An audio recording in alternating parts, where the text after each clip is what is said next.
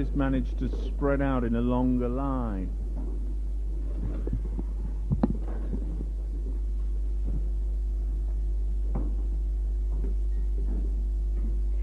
Don't like you having such a wide berth. um,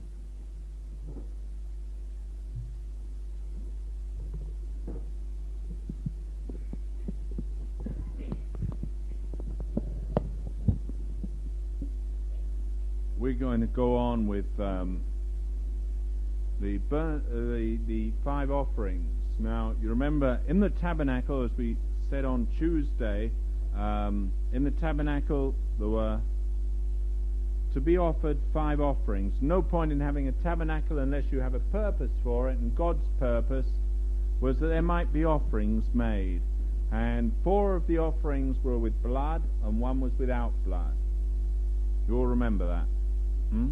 Right, which was the bloodless one? The meat offering. It's very good. And now we're going on to deal with a burnt offering. Now, the burnt offering is a very specific offering in one regard that nothing comes back to the offerer. It's all burnt. In other words, it's a total giveaway. You remember with the um, meat offering, what happened? You don't remember. Hmm? The priests had it. The, all the frankincense was burned, as you remember. And uh, the priests had the fine flour mixed with what? Hmm? Oil? Yeah. And honey? No. That's right. Weren't allowed. God forbade honey, which speaks of natural sweetness. Uh, that's one thing God doesn't accept in any sacrifice uh, the natural human attributes. Many people mistake for holiness a personality that's developed in culture or is ever such a gracious person. That's natural sweetness, and God has forbidden it in His kingdom. That's why you don't find many people like that get very far with God, though they'll get very far in the world's church. And there's a lot of them around. Okay, so we go on to the burnt offering, and if you turn with me to the good book and Leviticus chapter 1, it's the third book of Moses, so they tell us.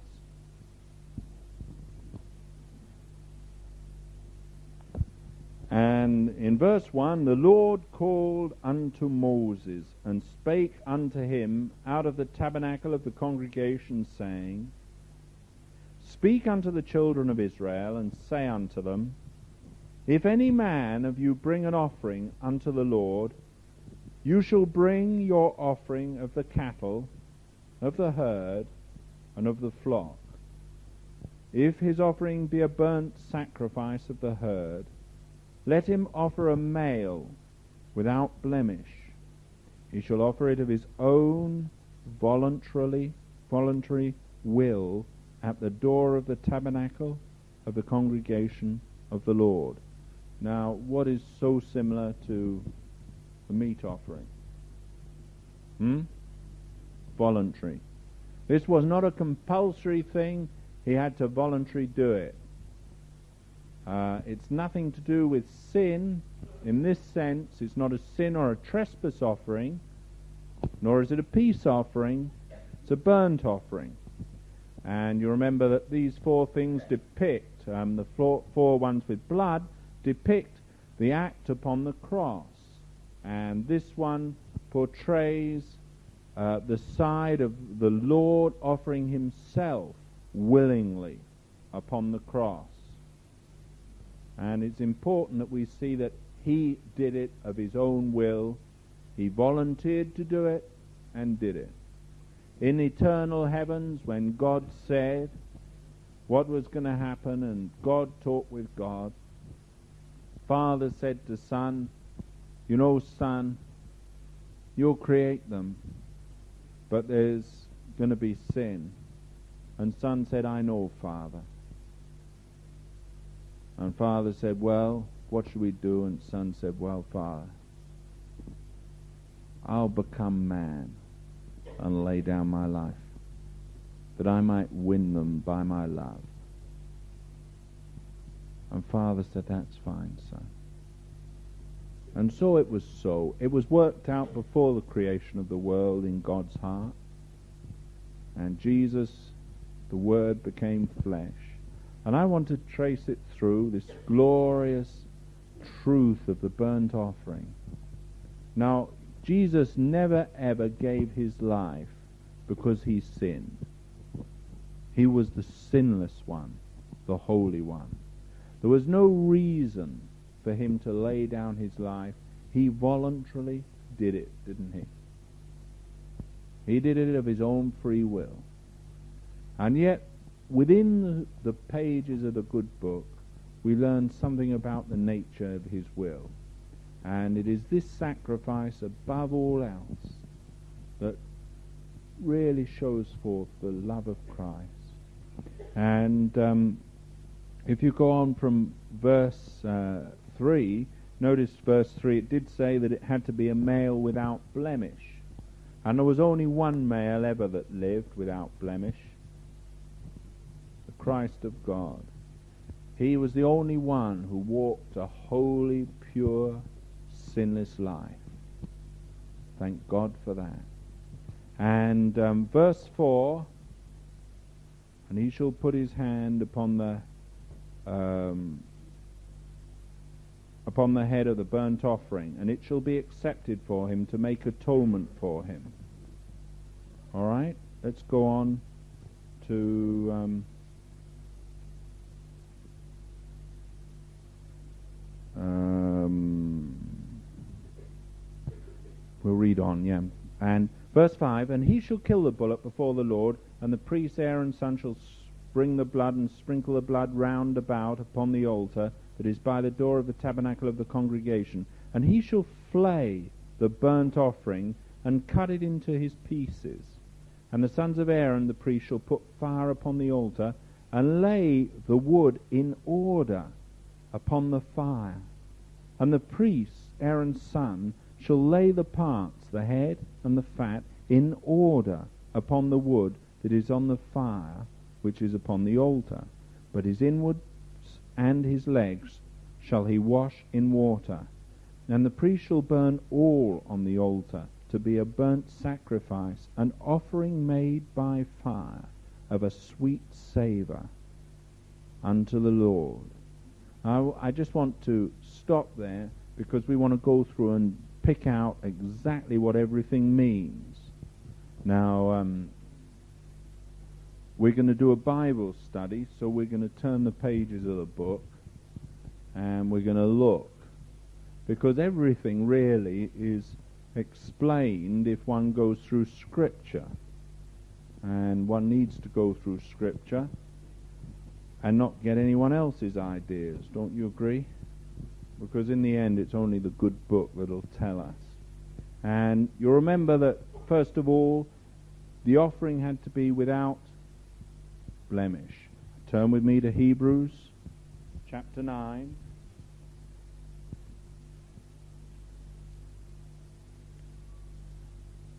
Hebrews chapter 9.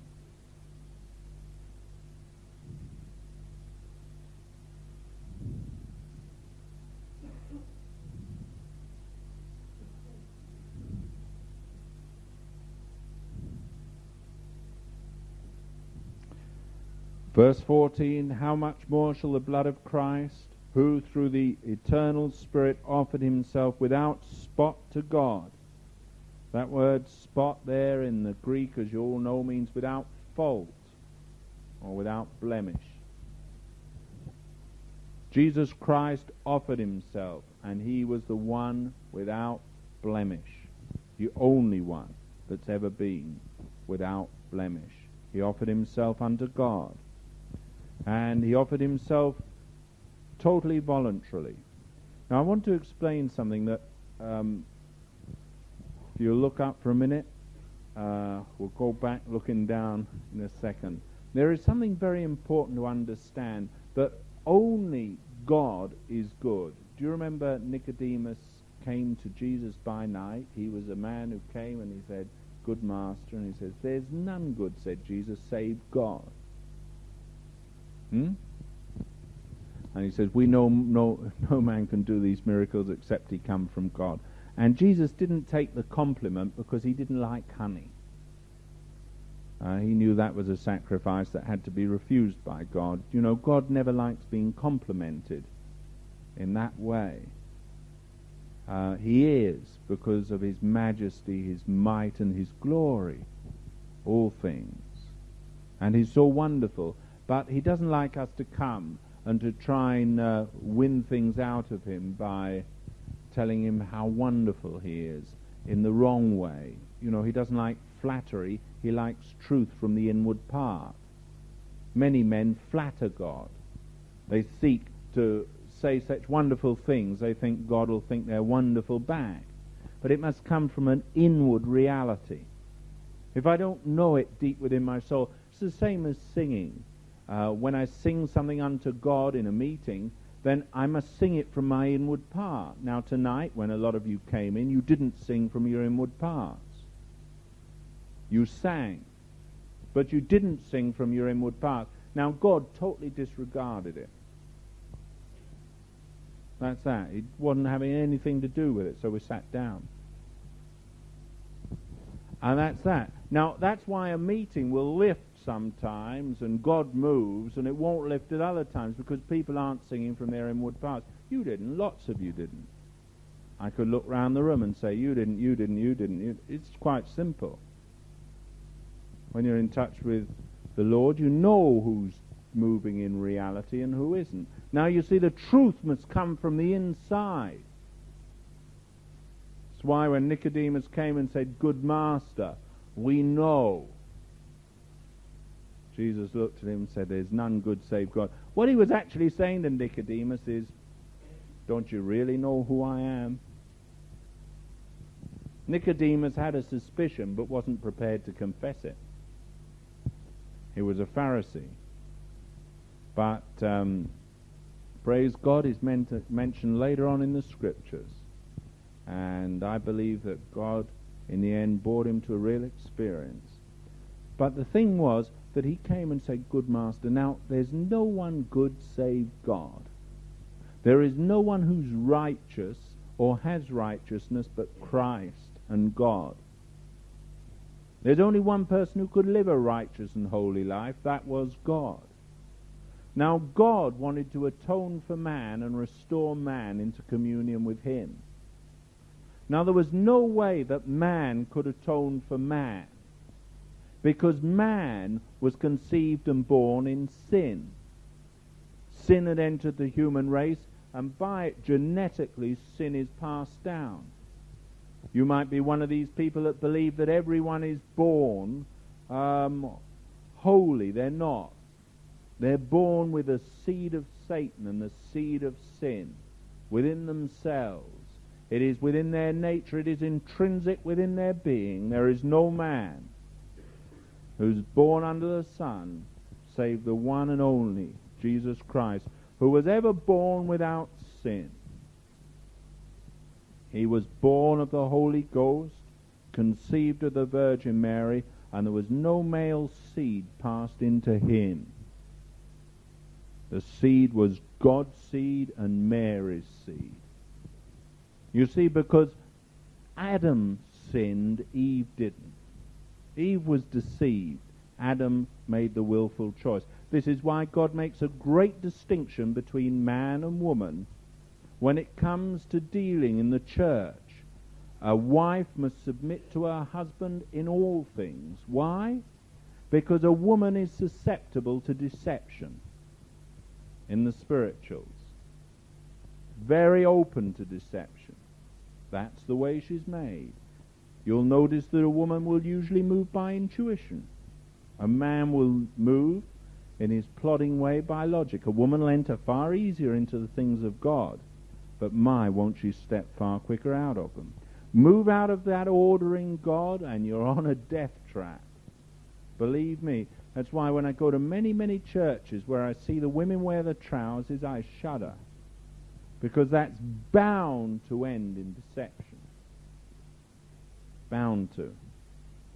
Because God has said so. That's why He said, Suffer a woman not to teach nor to usurp authority. All right? Now, that seed of woman, though, uh, Eve didn't sin, Adam sinned. You see, God had spoken to Adam. Remember the story? Hmm? God said to Adam. Now Eve. Now Eve heard what God had said to Adam. But she wasn't spoken to direct. And therefore, when Paul recounts it, he says Eve was deceived, Adam sinned. He made a decision and sinned. You understand that? Now, when Christ was conceived, he was conceived of this seed of woman. But it was God's seed who joined with the seed of woman, and therefore that holy thing that was born was a sinless son. Son of God and Son of Man. You understand the two had to come together. And that is why it's vital, and we must understand that the virgin birth, if it wasn't a virgin birth, then forget it, Buster. There is no salvation because Christ couldn't have been sinless. You understand that? That is why uh, you'll get in the attacks of the um, uh, whatever they are called. I can't think of the name. It's gone from my mind. Um, um, the idiots who call themselves theologians in the present day, modernists, will always attack the, the virgin birth, and they'll, you know, you find people when they want to attack, oh, you know, I don't believe in the virgin birth, but that is absolutely primarily essential to faith in God. If you don't believe in the virgin birth, you cannot be a Christian. Impossible. Because you can't believe in, if you don't believe in the virgin birth, you can't believe in the Holy Son of God. And that's fact. Because you see, he'd have been born in sin and conceived in sin, wouldn't he? Hmm? It's the same way that lots of people come to me. I had a vicar. He, I came and saw me, and um, I was talking with him, and he said, "Well," he, he, said, "Of course, the Old Testament's mythology. You know, it's good Anglican. So the Old Testament's mythology, like, uh, well, like any story, it's just illustrations." And I said, "Sir, might I stop you there and ask you one question?" I said, "All right." So I said, "Well, if sin came in by more than one man, it would have taken more than one man to atone for it. If it wasn't just Adam that sinned, if there'd been many, many, then there would have had to be many, many sacrifices. But because Adam sinned and sin came in by one man, therefore in the righteousness of God and in his righteous judgment, one man could atone for that. Now, God, in his wisdom, allowed Satan to get at the one man. He knew about procreation. God knew that there was going to be multitudes of nations upon the earth, but he made sure that the serpent moved against Adam and Eve while there was only one. That was the wisdom of God. Now, the serpent, in his mind, thought, if I can get the original one, if I can get the one before there's a multitude upon the earth, then, he thought, I'll have the whole earth under my power. Such was Satan's reasoning. Now, God knew Satan's pride, so he knew that that would be his thought. Get the top man. The others will just be born that way. And Satan thought he could usurp God's authority on the earth. But what Satan didn't bargain with was that when he caused man to rebel against God, what was born and conceived in the heart of Adam was rebellion. So every single person that was born after that had a rebel heart. Now, not only would they rebel against God, but they rebelled against Satan also. I mean, that was in their nature. they couldn't yield to God and they weren't going to yield to the devil either. So then he had to work out schemes of how he'd get them to worship him. But you see, God had seen all this beforehand. Praise his wonderful name. He knows all things from the beginning to the end. So he organized it that way. Left Adam in the garden. I mean, God didn't go to sleep when the serpent came to tempt Adam. He wasn't asleep. That was in his plan. He knew it would happen. But he knew it had to happen with the one man before the others came. Isn't that wonderful? Cared that much for us, he made sure happened with the one. And he allowed it to happen. I mean, he could have smote the devil dead then and there. He had the power. Didn't he? Could have finished the thing like that, but no. He let it go on. That's the the miracle of it all. That's why I think it's so wonderful when I start to, to go into the story of salvation and of God, to think that God knew, and in His grace and His love He made jolly sure that Adam sinned before there was any other seed upon the earth. Now He allowed the seed to become contaminated when it was just one seed in Adam all die. In Christ, all are made alive. You see, one man. And that was why it was so essential. Now, of course, if you don't believe in Adam and Eve, you can't be a Christian. Can you? And that's that. I mean, it's just impossible to be a Christian if you don't believe in Adam and Eve. Because a Christ man or a Christian believes in atonement for sin. And if it didn't come by one man, that's Paul's argument when he writes the letter to the Romans. Chapter 5 and 6, you remember? Or chapter 4 and 5, I beg your pardon, where he talks about it. Sin came in by one. In Adam all sin. Hmm? You understand that? In the same way, don't forget, he argues, or, or the writer to the Hebrews argues, should I say, that uh, uh, Levi paid tithes while he was in the bowels of Abraham. Do you remember that? When Abraham paid tithes to Melchizedek. And he argued that Levi paid tithes through Abraham to Melchizedek, even though he was not yet born. You remember that story? Now, he might have been generation further down, but he was still counted to have paid tithes, even though he hadn't been born. So a lot of things that you find God gives you credit for in your life could be two generations back. And a lot of sin that has to be dealt with in you was conceived two or three generations back and sometimes more to the third and fourth generation. The judgment of God. And these things work in the spirituals, and that is the way it is. And I want to go on. Our original father, therefore, sinned, and Jesus, the only holy one. And it had to be a holy one. As Adam sinned, Adam was created holy. Adam was created innocent. Now, when I say innocent, it meant that he was without temptation at that point. He was in innocence. He did not know the difference between good and evil.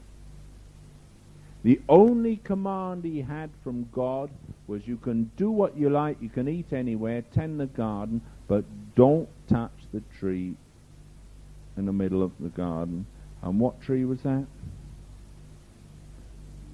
Tree of the knowledge of good and evil. Now don't touch that tree Take of the tree of life if you want to, but not of the tree of knowledge of good and evil. Now, Adam wanted freedom of choice.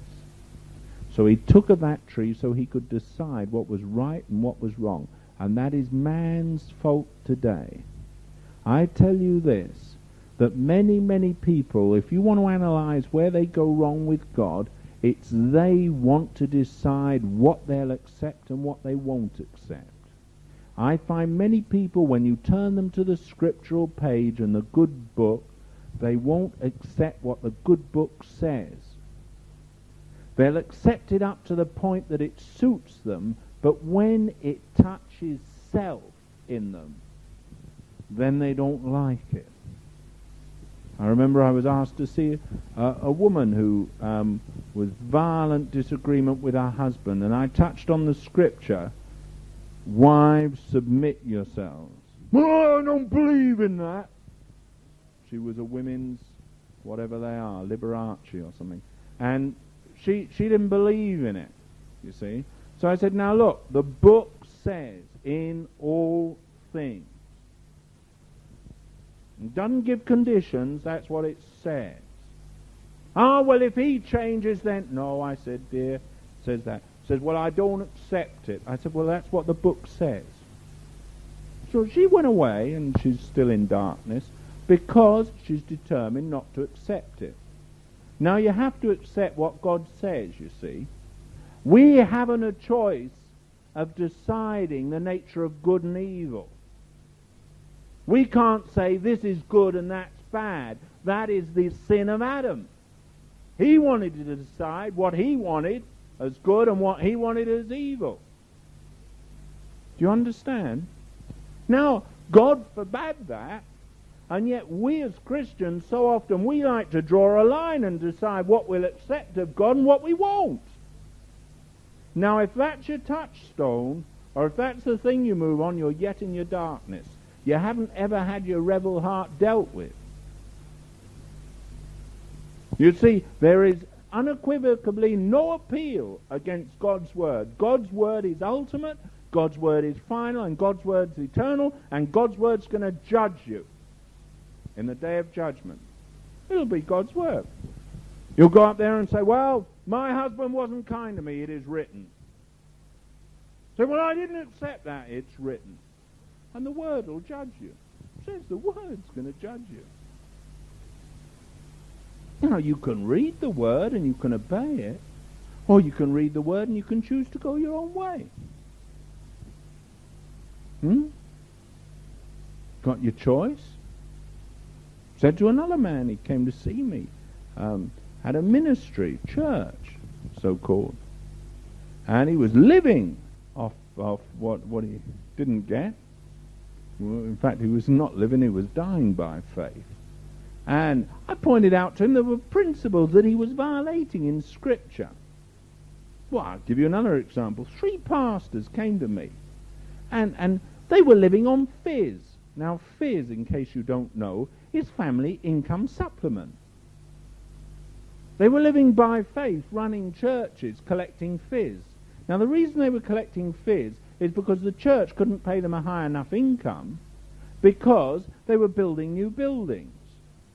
So they were going down and collecting off Social Security FIS. So I said to the three of them, God will not bless your ministry. Well, why won't God? Because God's not supporting you. Oh, yes, He is. No, He isn't, because God doesn't pay for you through Social Security he happens to have a glorious bank in heaven, and when he wants to call people out to his service, he doesn't use FIS to do it with.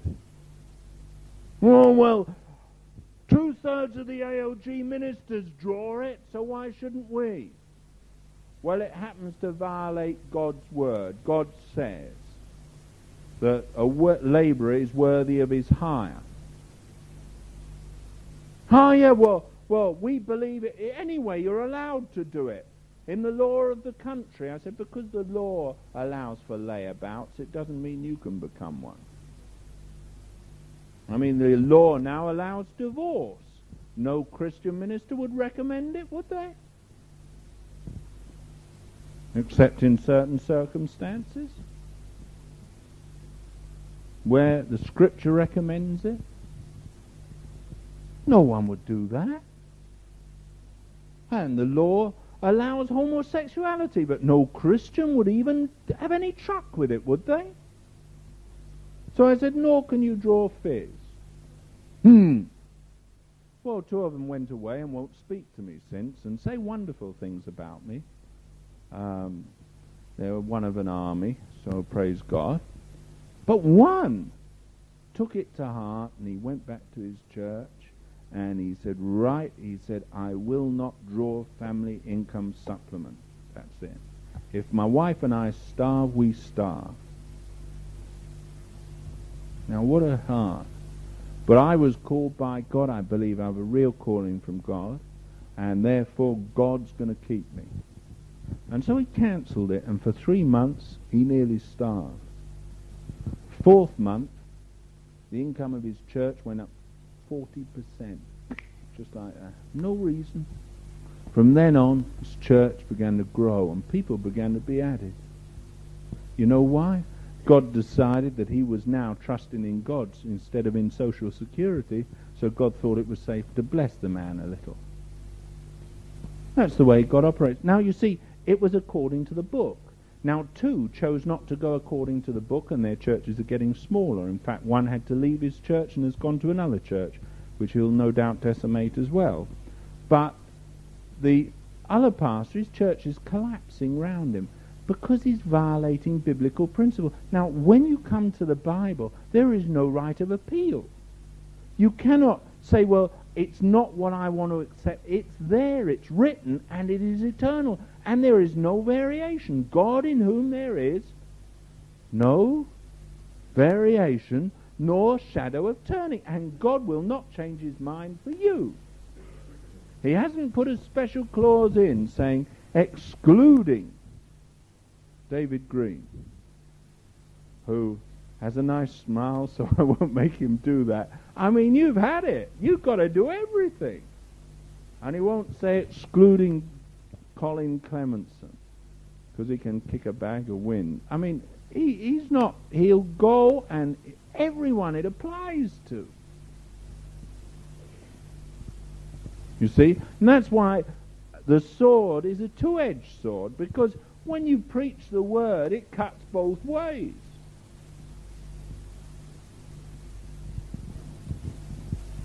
Doesn't it?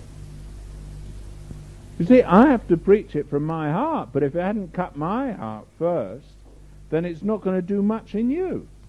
If it upsets you, I want to tell you something. It upset me far harder and far deeper, far longer ago than you think. You see, there's many of you, but I got the whole lot of me. You see, a two-edged sword, whoomp. But I had to take the lot my way. You think I'm kidding, I'm not. That's why when people get angry, I laugh. They don't know I got far more angry when I had it under me. and therefore, they don't know. Well, I was born and conceived in sin like you. I did have a mother irrespective of rumours. And I was born the same way. And, and, you know, I had a father. And we're all born that way. And our natures are all the same. Now, it's nothing to be ashamed of. It's something you confess freely.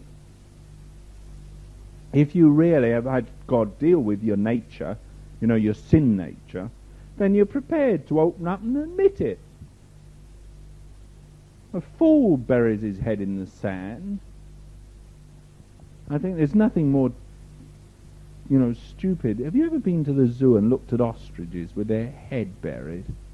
I mean, they look totally and utterly ridiculous. With their backside stuck up in the air, two spindly legs, and this neck with a just disappearing into the ground. Now they believe that they are safe and no one can see them. That's, what, that's why they do it, for protection.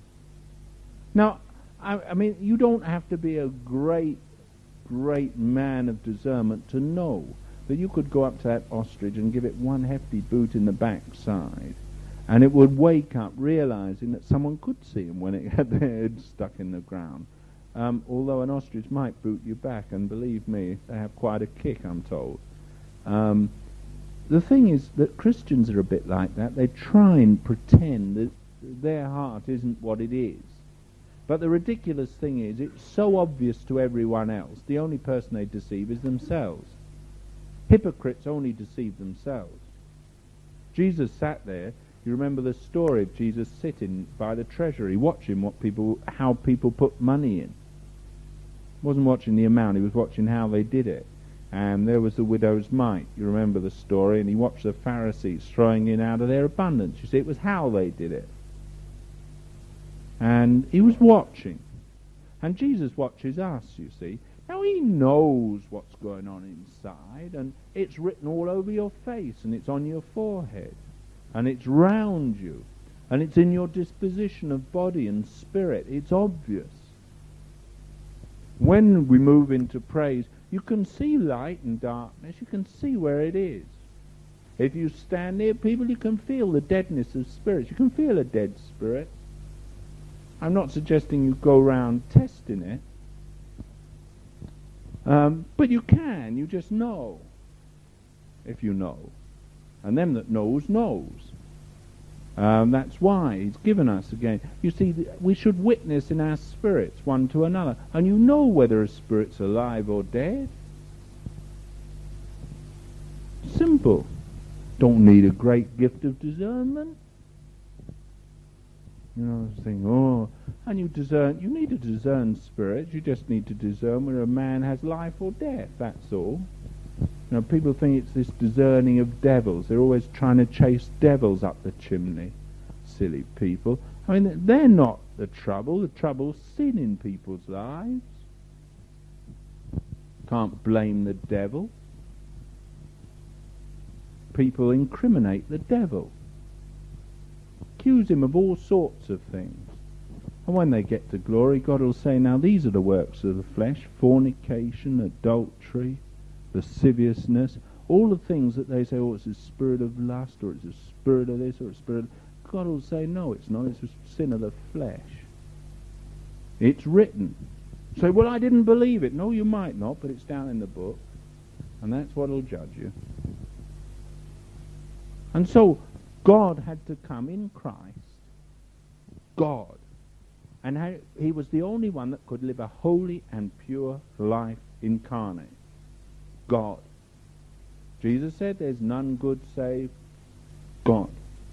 What he was saying to Nicodemus is, Nicodemus, I'm God.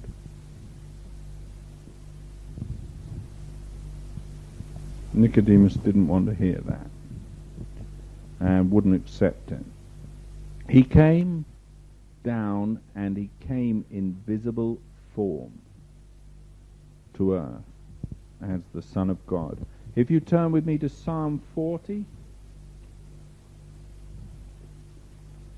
Can someone open the door back there so we can get some air, anything to get a little air in? Even I'm hot, so it must be hot. And Psalm 40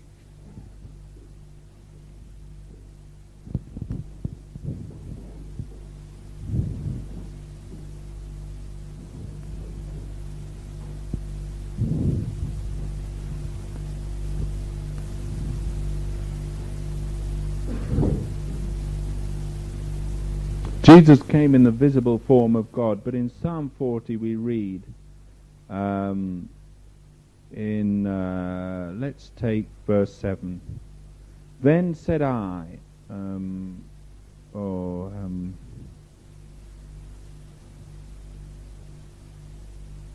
let's take verse 6. Sacrifice and offering thou didst not desire, mine ears hast thou opened. Burnt offerings and sin offering hast thou not required? Then said I, Lo, I come. In the volume of the book it is written of me, I delight to do thy will, O my God. Yea, thy law is within my heart. And if you have a Cambridge Bible, it will have in the margin, in the midst of my bowels.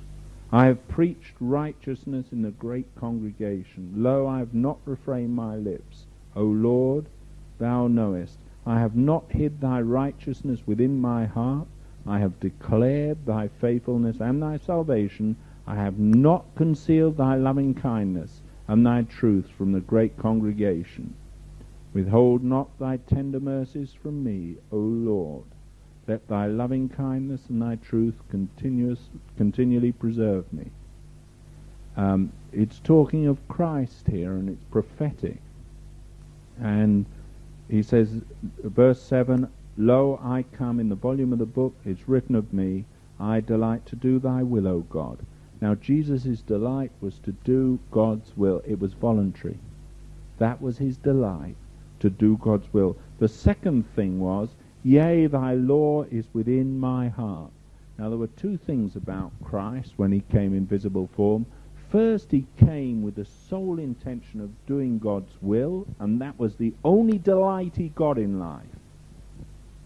That was the delight to do God's will and Father's will. The second thing was his law, that's God's law, was in his heart. There was no way that Christ was going to deviate from God's law. It was in him, and he was going to fulfill it. Come what may, he was going to be God on earth walking among men. That was his determination. And if you turn with me then to John 10.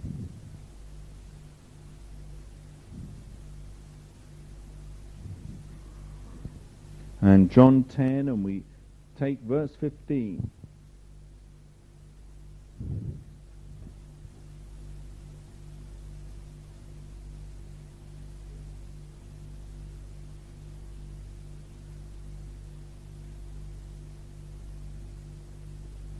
And it says these words As the Father knoweth me, even so know I the Father, and I lay down my life for the sheep, and other sheep I have, which are not of this fold. Them also I must bring, and they shall hear my voice, and there shall be one fold, one shepherd. Therefore doth the Father love me, because I lay down my life that I may take it again. No man taketh it from me, but I lay it down of myself. Jesus Christ laid down his life of himself. When Pilate turned round and said, Don't you know I've got power to let you go and I've got power to kill you? Jesus said, You can't have any power except it's given you from above. You can't do it. When Mary went called Jesus and said, uh, You know, They've no wine. Jesus turned around and said, Woman, mine hour's not yet come. Speaking prophetically of his death, which was three, three years hence. But he was so in touch with Father, he knew what Father's will was, and he knew his hour hadn't come. You understand? When the disciples got fearful and said, Look, oh, you know, one of them, who was it? Um,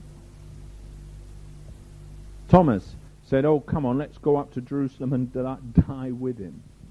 And, uh, I mean, he got faithless, but Jesus knew exactly where he was going and what was going to happen. He went through with God. He knew. And we have to come to a place of realizing that when Christ came and when the burnt offering, which is depicted of Christ, was laid upon the altar, it was a perfect fulfillment of Father's will. Now, it's noticeable if you just look back into Leviticus. We're going to go through it to show how it symbolized the cross. But in Leviticus 1, you might have noticed something that was, um, or you might not have noticed.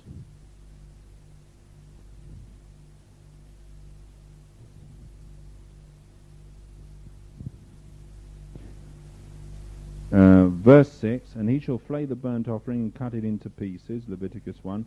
And the sons of Aaron the priest shall put fire upon the altar and lay the wood in order upon the fire. Now, firstly, the wood had to be in order. And the priest Aaron's son shall lay the parts, the head, the fat, in order upon the wood that is on the fire, which is upon the altar. And you'll notice that it keeps coming up in order, in order. Now, there was a definite order. And why was there a definite order? Why is it put there by the Holy Ghost? I mean, did that mean they mustn't put it there higgledy-pickledy? No, God wanted it laid there in order.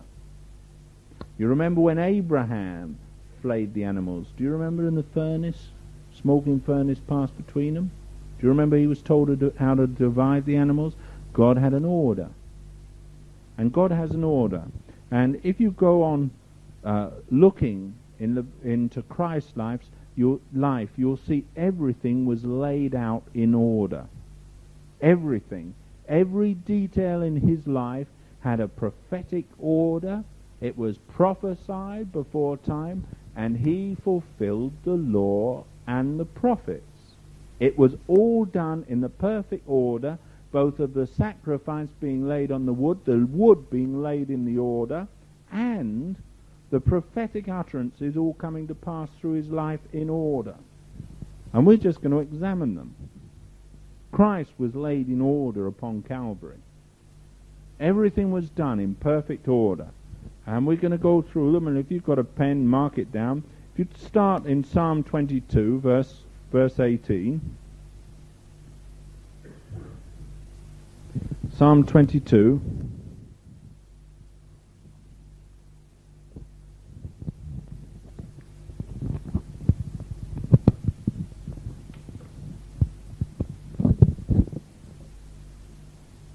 All right, Psalm 22. We've got verse 18.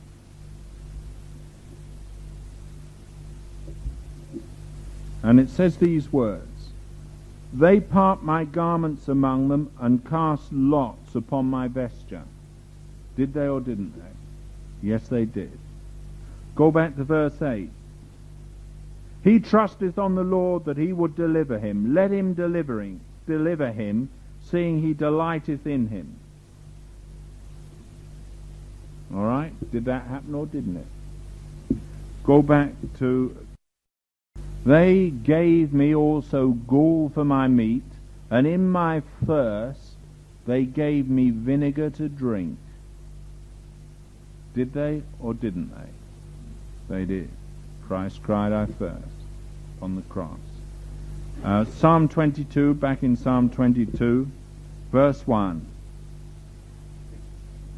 My God, my God, why hast thou forsaken me? Why art thou so far from helping me, and from the words of my roaring? You remember Christ upon the cross cried out, My God, my God, when darkness covered the face of the earth, and Father hid his face from Son, while his Son became sin, who knew no sin. And the judgment of God, the full judgment of God the Father, was poured out upon Jesus as sin and the nature of sin. Your sin, my sin. Not sins, but sin. Nature. That wicked, evil nature which we get by our first birth. That Christ took into himself and died. And we, he made that cry upon the cross in perfect order. Psalm 34, verse 20.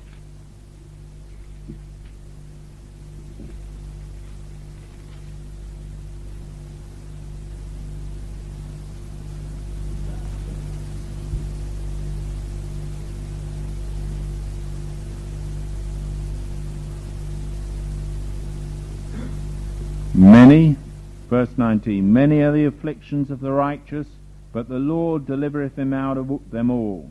He keepeth all his bones, not one of them is broken. You remember Christ upon the cross when they came to break his knees and break the bones of his legs? They discovered that he was already dead. And he was merely pierced through the side by a centurion.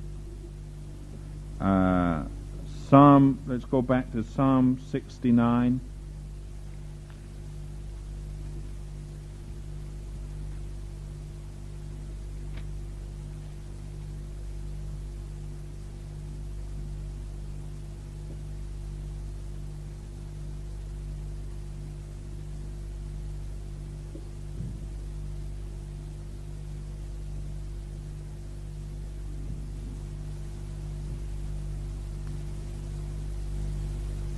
Well, let's take verse 18. Um, Draw nigh unto my soul, redeem it, deliver me because of mine enemies. Thou hast known my reproach and my shame, and my dishonour. Mine adversaries are all before me. Reproach hath broken my heart, and I am full of heaviness. And I looked for some to take pity, but there was none, and for comforters, but I found none. Um, then you go on to the other one about the drink of vinegar. But when Christ came, his heart was broken, and you remember when the centurion thrusted a spear into Christ's side, out came blood and water, showing that his heart had broken. And Isaiah 53.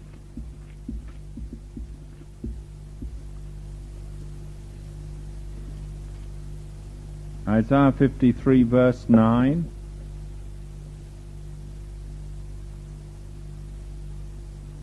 And he made his grave with the wicked and with the rich in his death. Now, literally translated, that means his grave was appointed with the wicked, but the, with the rich man was his tomb.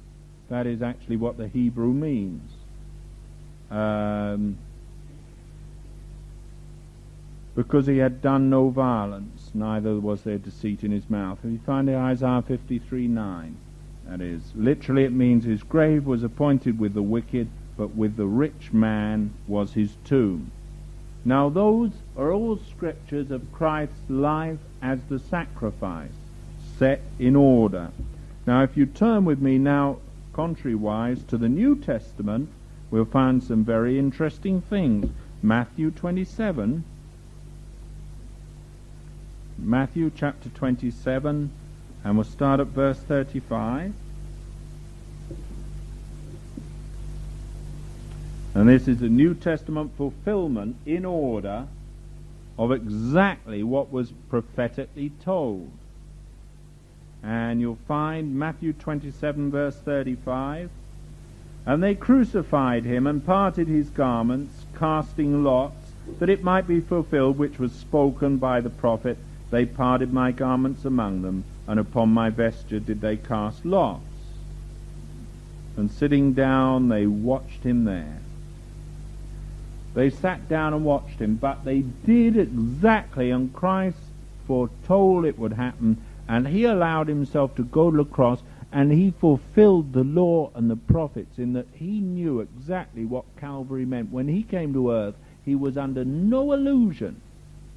He knew exactly what he had to do. He knew the pain he had to go through from the day that he said to Father, I'll go, Father, and redeem them. I'll be the man of redemption.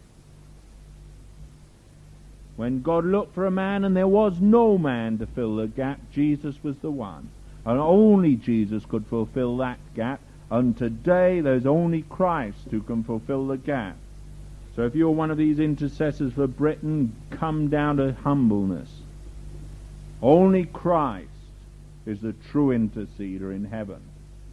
Or you can take a little part playing with your toys, but the true interceder is Christ. Hallelujah. He ever liveth to make intercession for us. Hmm? And there he was coming down to fulfill the work. Now he knew exactly what it was going to cost, and in every detail he permitted it to happen. He didn't shirk anything. He knew it was Father's will for it to be that way because it was written, and because it was written, he was going to walk that way. Now, we know what Father's written. Are we prepared to walk his way? So, well, I don't like it. It causes me too much trouble. Exactly. You won't have the cross in your life. You're shirking the cross, man or woman. If you won't go the biblical way, you're dodging life. No cross, no crown. That's the truth. Jesus knew what it meant. It costs. There is a cost in Christianity. A cost. It isn't free. Forgiveness is free. Cleansing's free. Salvation will cost you everything. Say, but it's grace. Exactly. You don't deserve it. You haven't done anything to warrant it. But it'll cost you everything to have it. Say, but I thought God gave it all free. Exactly, He does. Totally free. He gave it in His Son 2,000 years ago. But to be a partaker of it, it'll cost you everything. That's glorious, isn't it? That's why you see, Calvin could preach one thing, Luther the other, and together you get a glorious balance. Wesley could go up one side of the country and um, Whitefield up the other. They preach totally different things. Go down the middle of the country and you get the balance. Straight up the middle. Hallelujah. You see, of course, God's totally sovereign. But of course, whomsoever will may come. Because God's totally sovereign, whomsoever will may come. But because he foreknew them, only those who have chosen before the foundation of the world will ever get there. But who knows who they are? Well, God does. And that's that. That's why it's useful never to be a theologian. You don't get confused then. We'll go on. Matthew 27, verse 39. And they that passed by reviled him, wagging their heads, and saying, Thou that destroyest the temple and buildest it in three days, save thyself. If thou be the Son of God, come down from the cross. Likewise also the chief priests mocking him, with the elders, the scribes and elders said, He saved others, himself he cannot save. If he be the king of Israel, let him now come down from the cross, and we will believe in him, liars. Even if a man proves it, they won't believe. People have come to me, and they've said to me, All right, Michael, you say you can do this, or, or God will do that. Prove it, and we'll believe. If you proved it, they still wouldn't believe. So I never try. Say, no, I won't. So there you are, you don't really... I do believe it, but I know that even if we proved it to you, you still wouldn't believe. Those wicked Pharisees, I tell you, if Jesus had stepped off the cross then, he would have been defying Father's will. It was the greatest temptation the devil could throw at Jesus. I remember hearing it preached on one day, years ago now, 14 years ago, I think, 13 years ago. And a minister was preaching on this, and he was preaching a tremendous sermon, and God quickened it to my heart. And it just broke my heart. And God said to me, You know, son, if you'd been there, you'd have got down, wouldn't you? I said, Yes, Father, I would. and he said, That, son, is why I haven't let you be tempted that way yet. Said, Thank you, Father. You see, he knows just how far you can be tempted. He won't let you be tempted above that which you can endure. The trouble is, we think we can't endure much, don't we? Hmm? You know, oh God, it's terrible. Not much, son. you can go a lot further. And you know, as time goes on, God stretches you, doesn't he? Upon his rack of grace and love. And he, he expands your faith. And you suddenly realize that before you couldn't have taken some. Now, you, you, it's, it's not even a pinprick. Hmm? Before it was a mountain. Suddenly it's a pinprick. But just so you don't get proud, you found a few mountains still coming at you. But these are different mountains. Hmm?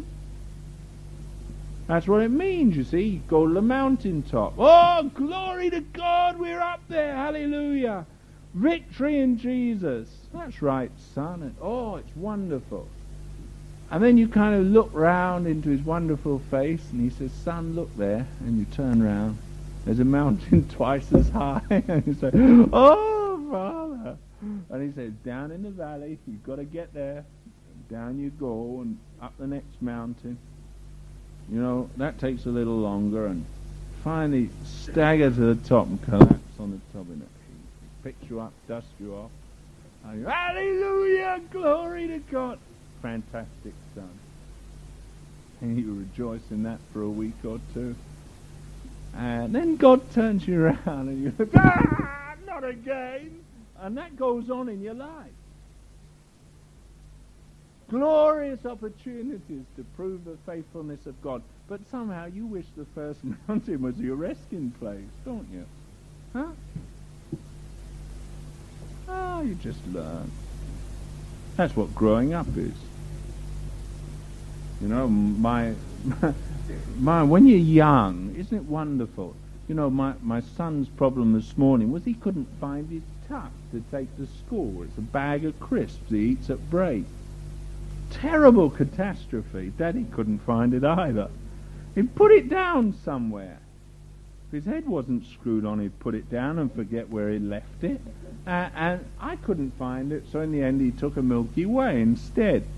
But, I mean, to a little lad, that's a catastrophe. But if you grow up and you're a man and you lose a bag of crisps, you just walk in and buy another one, wouldn't you? I mean, it's so ridiculous. Uh, you know, to make it a mountain, it's ridiculous. But to a child, you know, that can be a mountain. And that's how we are, you know, in spiritual terms. Things once that you look back in your life, the big mountains that you thought you'd never ascend. Now you look at them, it's like a bag of crisps. Now, you, you wouldn't think twice about them. But you have one or two other little mountains that are real now, uh, and you begin to realize, you know, you were like Don Quixote, you were charging at windmills. But all of a sudden you find there are real chants in the spiritual, and you wrestle not against flesh and blood, but against principalities, powers, the rulers of darkness in high places, and you know what it's about. I know for years in my life I used to kind of tell people, you know, messing about, fighting demons, stupid occupation. I mean, no one should waste their time with them. And, and you know, whoa, you bind them in Jesus' name and cast them out and I thought I was wrestling with principalities and powers and the rulers of darkness in high places. Not little pimps. I mean, they were just pimples. It's like acne, you know, you get that on adolescence, don't you? People get spots all over their face. That's what demons are like, you know, just a little trouble. Clearasil will get rid of it. Um, you know, when you get older, you realize that you were messing. And then there came a day when suddenly it dawned on me we had to stop messing and get on with God. We had to wrestle against principalities and powers and the rulers of darkness in high places. Not mess around with people like that. There was kingdoms and dominions and thrones that needed dealing with. Ruling spirits that come in families and bowing families for generations, and then principalities that rule over cities and towns, and then thrones that come over churches in deceptions. Now, those are the things you fight. They're nothing to do with demons. But you see, as a kid, it's all right to tilt at windmills. That's how you get practice, and it kind of encourages your faith. Doesn't it? think what a fantastic thing you've done. Now my son, he plays football at school. And he likes to score goals, which is a good occupation for a footballer if you're centre forward. It's not so good if you're goalkeeper, because they'd probably be your own goal. But if you're, if you're a centre forward, it's a good thing to score goals. Now, to him, that's great. But there's no way that he's going to be the centre forward of his favourite team, which happens to be Arsenal. Now, I mean, he just wouldn't somehow fit into that team, and if he did, I think he would come off rather badly on the first match. Before he'd raised his leg back, I think the ball would have gone and he'd have been flat on his nose. Now, you know, God knows we we, we can't cope it within adult things when we're babes in Christ. So what does he do? He deals with us as babes. He doesn't expect us to be above what we are. That's his faithfulness. So be where you are. Be what you are in Christ. Enjoy it. That's good. Enjoy what you've got. hallelujah for it, but know there's more. And know that, you know, in the world you're going to suffer tribulation. Be of good cheer, said Jesus. I've overcome the world, and won't be long till you're back with me in glory. Trial of your faith's much more precious than fine gold, so know that you're always storing up something precious for Jesus. You understand? Let's go on then. Um, verse 48 of that it says, oh, um, when he called out Eli, Eli. Remember? Um, and then in verse 48, and straightway one of them ran, took a sponge, filled it with vinegar, put it on a reed, and gave him to drink. Remember the story? Fulfillment of the prophecy. John 19, let's turn to John's Gospel, chapter 19. John 19, verse 32. Here we have the story. Then came the soldiers, verse 32 of John 19, and brake the legs of the first and of the other which was crucified with him. Now they break the legs of those two malefactors because you know in crucifixion you don't die that quickly. It was a bit of a messy business being crucified. And you don't die quite quickly. And what they used to do, they'd go along and they'd smash with a chisel, they'd smash the kneecaps of uh, people who um, were crucified. That was one of the Romans. You know, they were civilized, they were meant to be. First civilization threw people to the lions and smashed their legs in, and they broke used to break their legs like that. And um, the Catholics actually show crucifixes sometimes with Christ's knees broken, which is, shows just how blasphemous the whole lot of them are, even the charismatic ones. And um, says, uh, but one, uh, but when they came, verse 33, to Jesus and saw that he was dead already, they break not his legs. Now I want to point out to you that Jesus didn't die. Jesus committed his spirit to God the Father and gave up the ghost. There was no way Jesus could die. Jesus had to dismiss his spirit. It was of his own will that he laid his life down. No man took it from him. Crucifixion did not take the life of Christ. He was laid in all order upon the altar, and then he yielded up the spirit. He dismissed his own spirit. And that was why he did it before it came to the time that they should break the legs. Because he knew he had to dismiss his spirit to fulfill the prophecy. So once he thirsted, and once the terrible thirst had struck him and they offered him that drink, and once he'd uh, committed his spirit to Father, he gave up ghost before the time came for the breaking of the legs. So he fulfilled the prophecy perfectly to the letter. He let everything be laid in all order upon the wood, and the wood was the cross, the gibbet. That was the way he was to be crucified, for was it not written, Cursed is everyone that hangs on a tree, therefore he was made a curse for us, that we might be made the righteousness of God. Do you remember the scripture in Colossians? Now that, it had to be the cross. Had to be. Because that was what was prophesied in Isaiah. So he went all the way. Now, when they came along, he gave up the ghost and he yielded up his spirit so they wouldn't break his legs. But he also permitted his heart to be broken. Uh, and it says, verse 34 One of the soldiers with a spear pierced his side, and forthwith came out blood and water. And he that saw it bare record, and his record is true. And he knoweth that, he's, um, that he saith is true, that you might believe. For these things were done that the scripture should be fulfilled, a bone of him shall not be broken. And again another scripture saith, they shall look on him whom they pierce. Now there you are, it's all down there in scripture. Jesus perfectly fulfilled it but he did it voluntarily. He did it of his own free will. And at each stage he chose. That is the incredible thing. He was in perfect control of the situation. Why, when the men came to arrest him, they came out, they didn't arrest him, he went with them. Didn't he? Looked at them, said it's I, and they fell back affrighted. Peter locked off someone's ear, so Jesus stuck it back. I mean, he, you know, he was in total control. Pilate said, Don't you know I've got power to do this and do that? Jesus said, You haven't got any power except what's given you from above. Who do you think you are? Didn't quite put it that way. The kind of tenor of what he was saying, really. Hmm?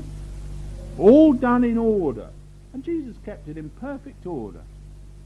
He could have violated the scripture at any point, but because it was written in his heart, you remember we saw written in his heart?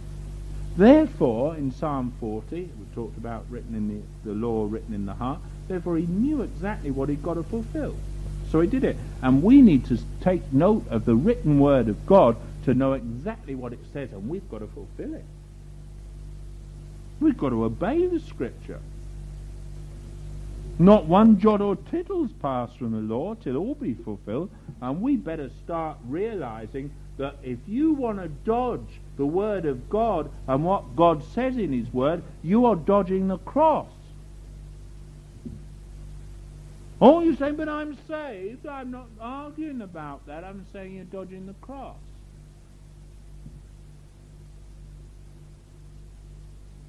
That's a different story. And we go on to um, uh, Matthew. Uh, let me see, just a minute. Where am I? Oh, we go to John 38 first. Uh, John, verse 38.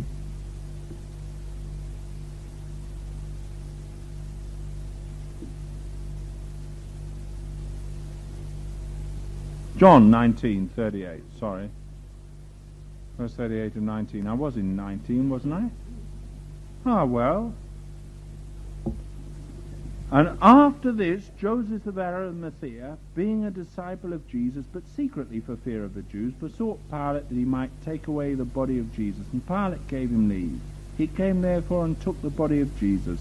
And there came also Nicodemus, which at the first came to Jesus by night, and bought a mixture of myrrh and aloes about an hundred pound weight. Then took they the body of Jesus and wound it in linen clothes with spices, as the manner of the Jews is to bury. Uh, now in the place where he was crucified there was a garden, and in the garden a new sepulchre wherein never was man yet laid.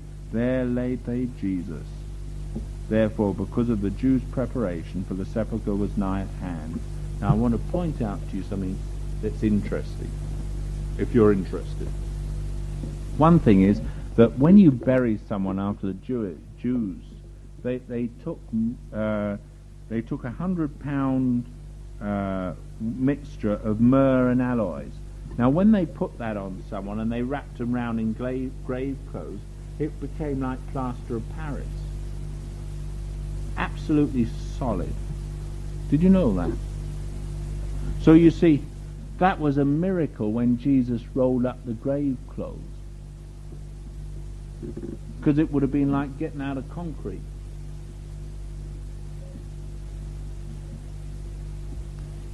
You've seen pictures of mummies, haven't you? How the bandage is all sweat, but they go like concrete. That was one of the things to preserve the body.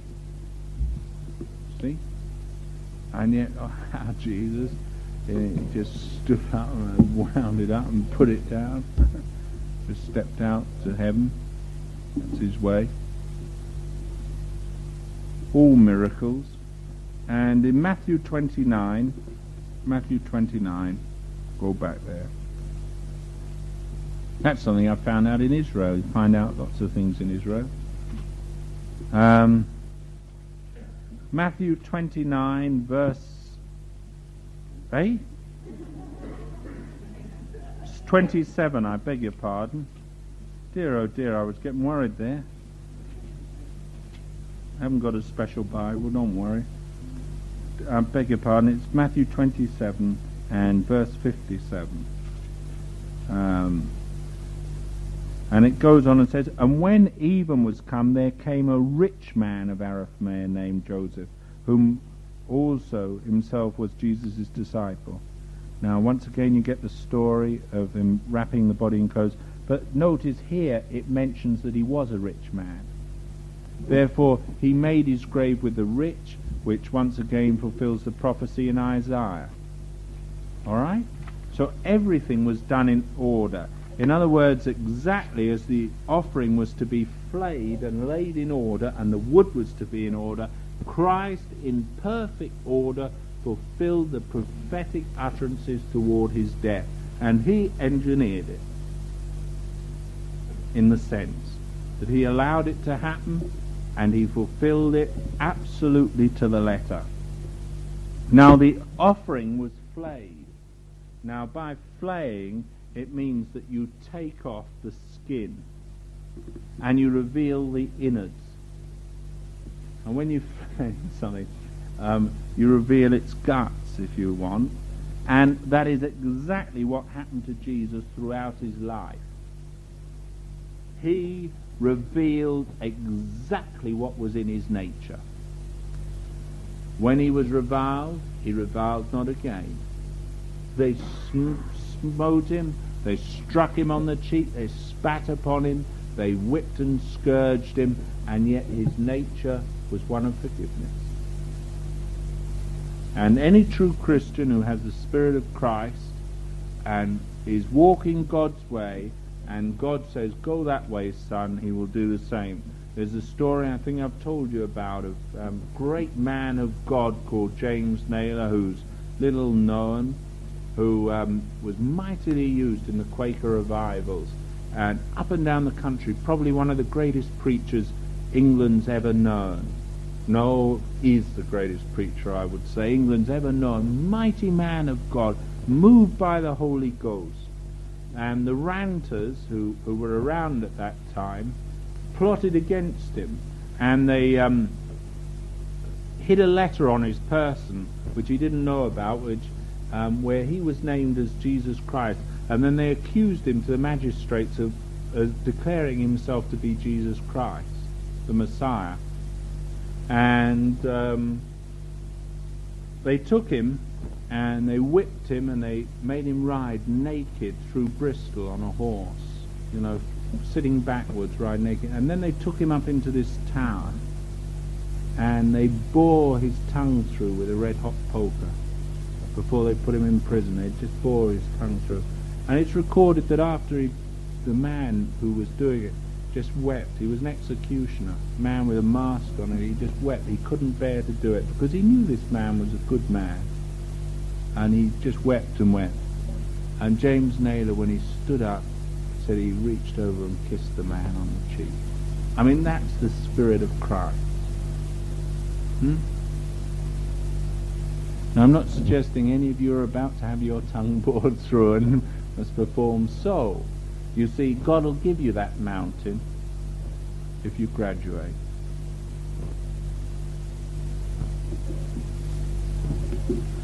Some of you don't look as though you want to graduate.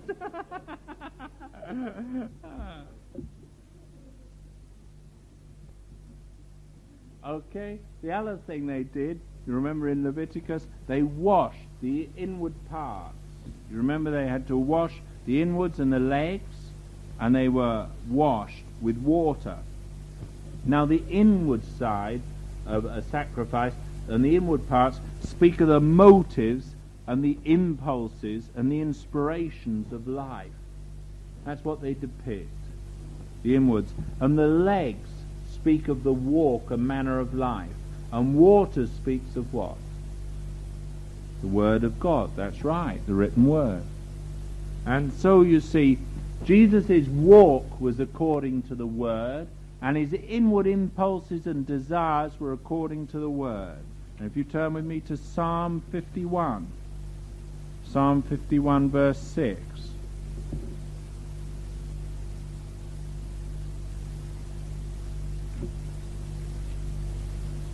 Psalm 51, verse 6.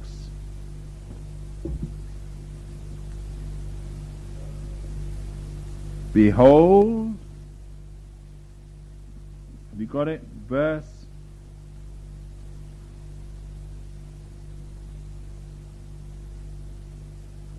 Um, this is a psalm of David, and you'll remember when Nathan the prophet came to him after he'd gone into Bathsheba.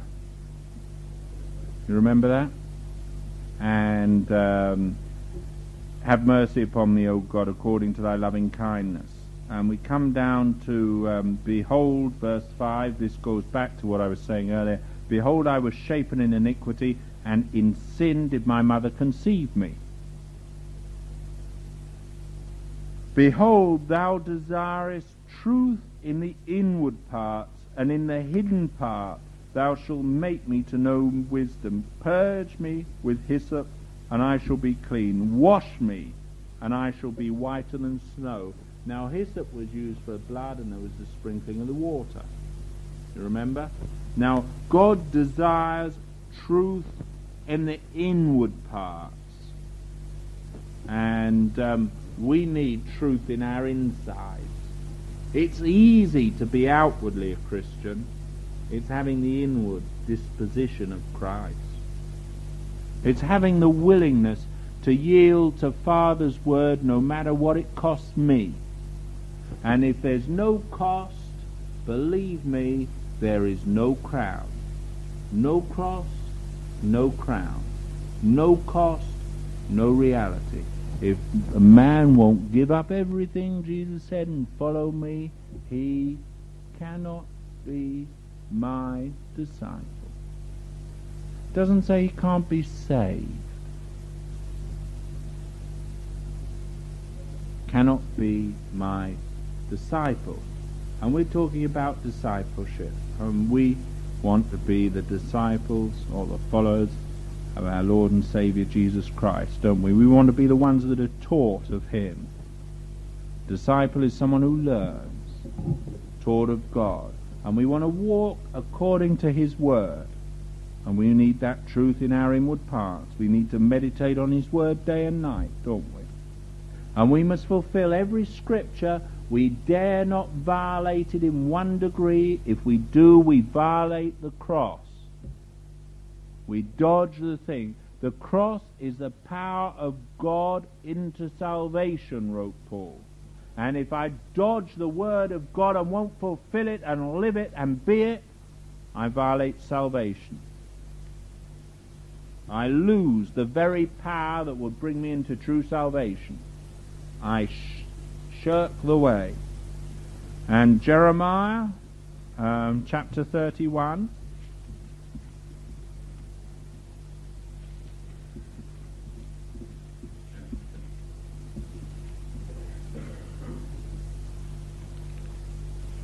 Jeremiah 31.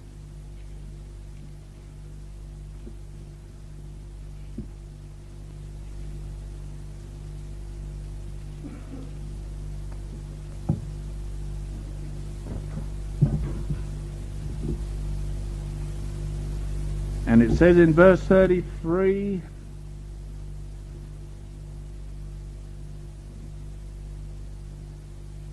or let's take um, verse 31.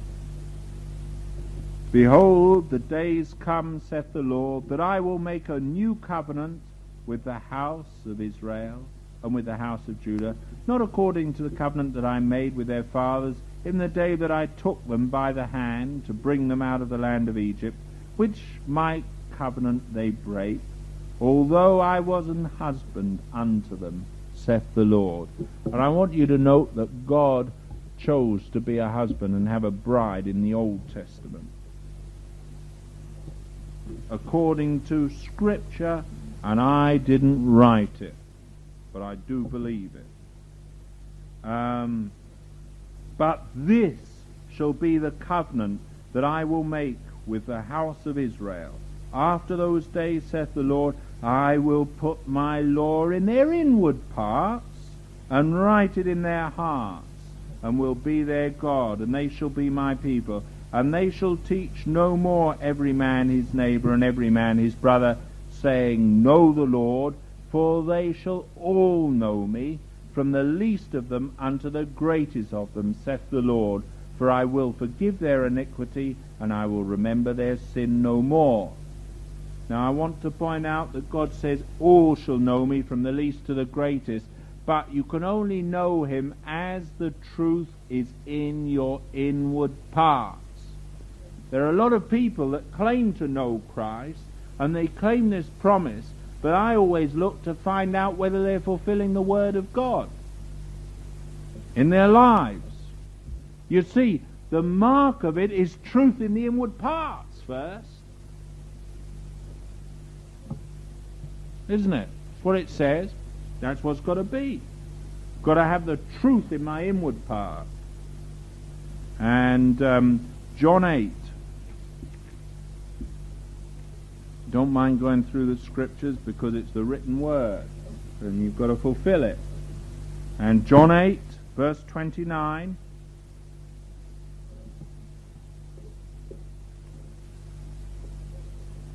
Jesus said this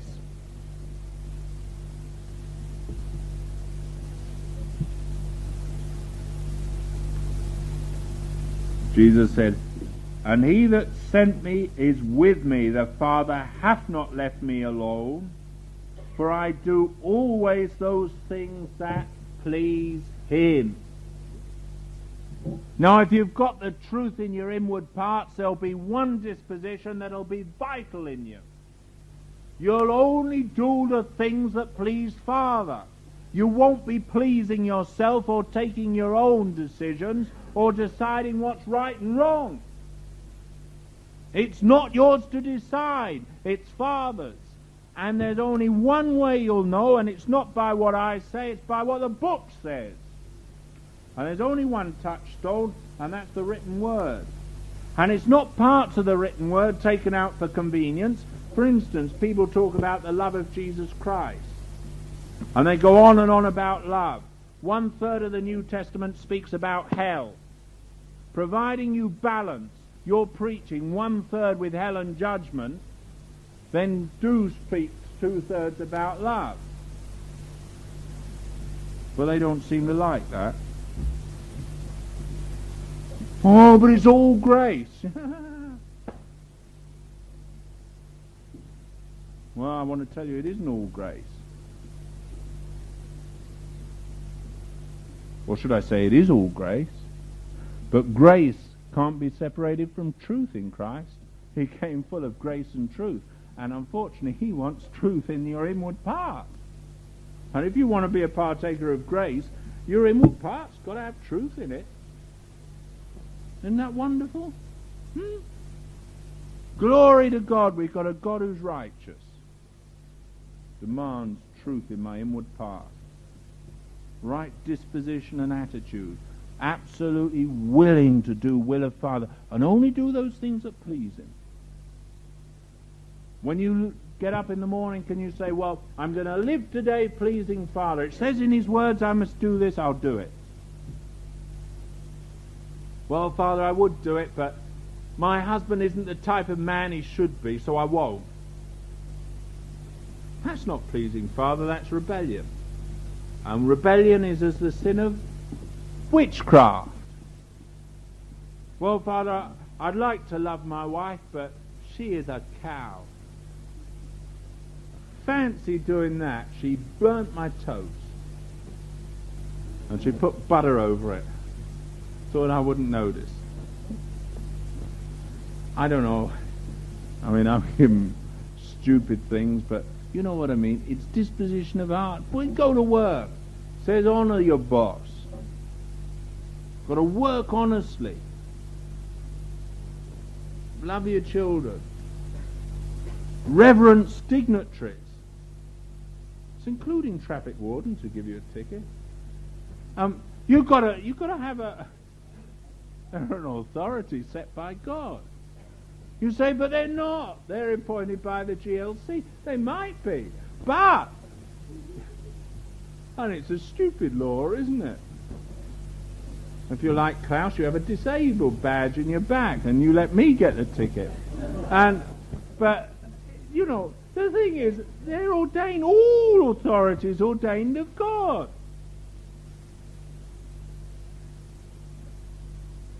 Only taking simple, wicked illustrations to show you. And then let's go on. That's, that's the inward part. And then the walk. And if you turn to Psalm 119, beautiful psalm that. We'll read it, shall we? Oh, maybe not. One day. And verse 11.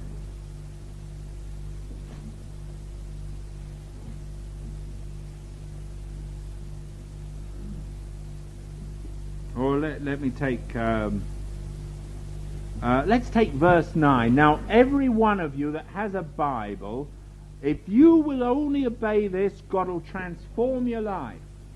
If you want to be truly baptized in the Holy Ghost, not get a thrill up your spine and think that's it, or say banana backwards and think you've got something, do this and you'll have a real experience. Wherewithal shall a young man cleanse his way, or a young woman, or an older woman? or an older man. But you see, born again, you'll be young, won't you? By taking heed according to thy word, first thing, with my whole heart have I sought thee.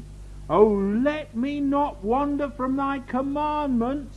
Thy word have I hidden in mine heart that I might not sin against thee. Blessed art thou, O Lord. Teach me thy statutes. Look at this for a psalm. This is a new covenant.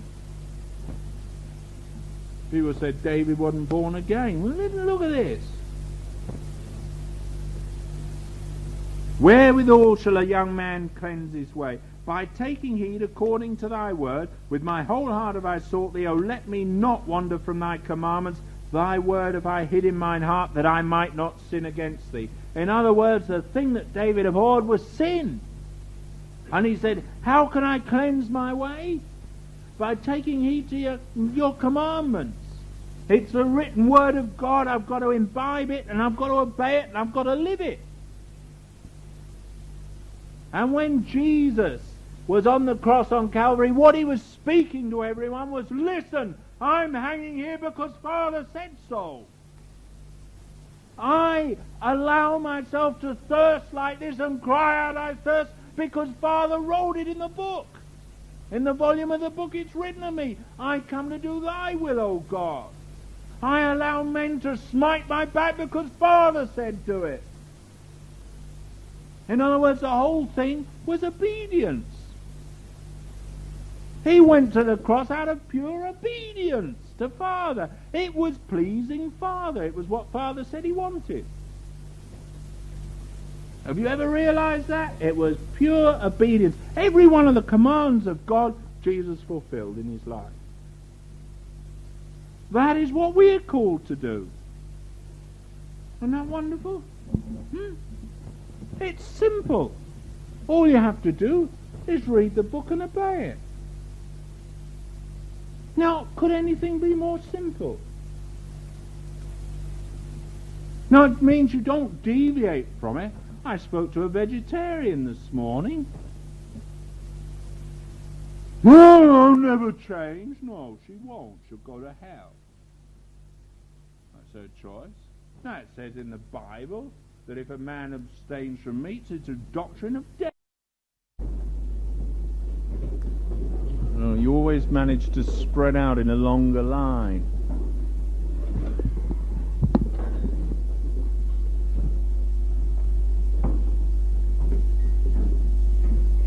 Don't like you having such a wide berth. um,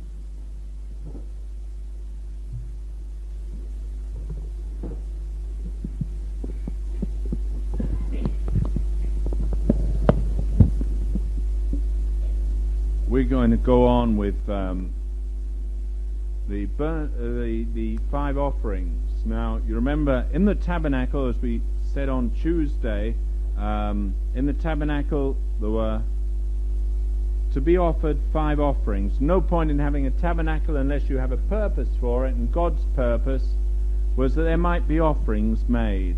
And four of the offerings were with blood, and one was without blood. You all remember that? Hmm? Right, which was the bloodless one? The meat offering. It's very good. And now we're going on to deal with a burnt offering.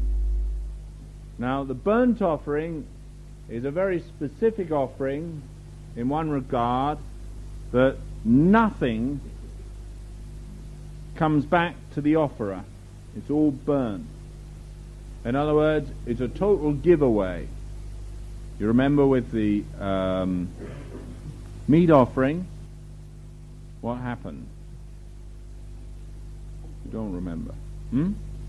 The priests had it. The, all the frankincense was burnt, as you remember, and uh, the priests had a fine flour mixed with what?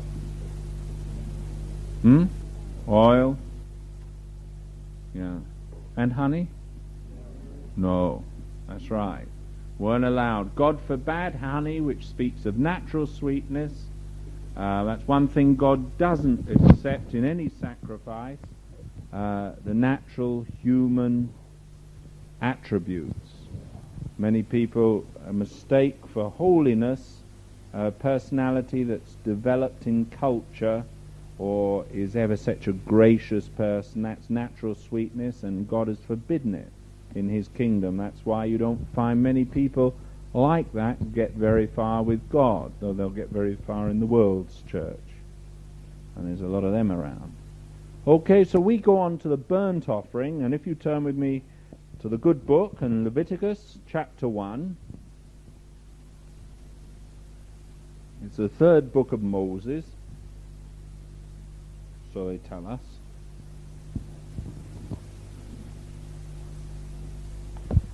And in verse 1, the Lord called unto Moses and spake unto him out of the tabernacle of the congregation, saying, Speak unto the children of Israel, and say unto them, If any man of you bring an offering unto the Lord, you shall bring your offering of the cattle, of the herd, and of the flock. If his offering be a burnt sacrifice of the herd, let him offer a male without blemish. He shall offer it of his own voluntarily voluntary will at the door of the tabernacle of the congregation of the Lord. Now, what is so similar to the meat offering? Hmm? Voluntary. This was not a compulsory thing. He had to voluntarily do it. Uh, it's nothing to do with sin in this sense. It's not a sin or a trespass offering, nor is it a peace offering. It's a burnt offering. And you remember that these four things depict, um, the four, four ones with blood, depict the act upon the cross. And this one portrays uh, the side of the Lord offering himself willingly upon the cross. And it's important that we see that he did it of his own will. He volunteered to do it and did it. In eternal heavens, when God said what was going to happen and God talked with God, Father said to Son, You know, Son, you'll create them but there's going to be sin. And son said, I know, Father. And father said, Well, what should we do? And son said, Well, Father, I'll become man and lay down my life that I might win them by my love. And father said, That's fine, son. And so it was so. It was worked out before the creation of the world in God's heart. And Jesus, the Word, became flesh. And I want to trace it through this glorious truth of the burnt offering. Now, Jesus never ever gave his life because he sinned. He was the sinless one, the holy one. There was no reason for him to lay down his life. He voluntarily did it, didn't he? He did it of his own free will. And yet, within the, pages of the good book, we learn something about the nature of his will. And it is this sacrifice above all else that really shows forth the love of Christ. And um, if you go on from verse uh, 3, notice verse 3, it did say that it had to be a male without blemish. And there was only one male ever that lived without blemish Christ of God. He was the only one who walked a holy, pure, sinless life. Thank God for that. And um, verse 4 And he shall put his hand upon the um, upon the head of the burnt offering, and it shall be accepted for him to make atonement for him. All right, let's go on to. Um, um, we'll read on, yeah. And verse 5 And he shall kill the bullock before the Lord, and the priest Aaron's son shall bring the blood and sprinkle the blood round about upon the altar that is by the door of the tabernacle of the congregation. And he shall flay the burnt offering and cut it into his pieces. And the sons of Aaron the priest shall put fire upon the altar and lay the wood in order upon the fire. And the priest, Aaron's son, shall lay the parts, the head and the fat, in order upon the wood that is on the fire which is upon the altar. But his inwards and his legs shall he wash in water. And the priest shall burn all on the altar to be a burnt sacrifice, an offering made by fire of a sweet savour unto the Lord. I, I just want to stop there because we want to go through and pick out exactly what everything means. Now, um, we're going to do a Bible study, so we're going to turn the pages of the book and we're going to look. Because everything really is explained if one goes through Scripture. And one needs to go through Scripture and not get anyone else's ideas. Don't you agree? Because in the end, it's only the good book that'll tell us. And you'll remember that, first of all, the offering had to be without blemish. Turn with me to Hebrews chapter 9.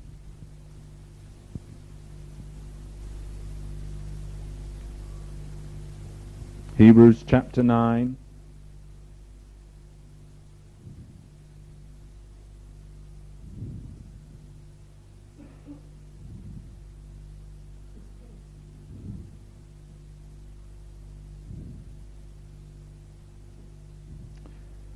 Verse 14 How much more shall the blood of Christ, who through the eternal Spirit offered himself without spot to God? That word spot there in the Greek, as you all know, means without fault or without blemish. Jesus Christ offered himself, and he was the one without blemish, the only one that's ever been without blemish. He offered himself unto God and he offered himself totally voluntarily.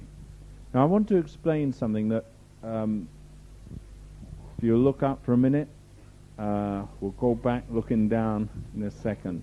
There is something very important to understand that only God is good. Do you remember Nicodemus came to Jesus by night? He was a man who came and he said, Good master. And he says, There's none good, said Jesus, save God.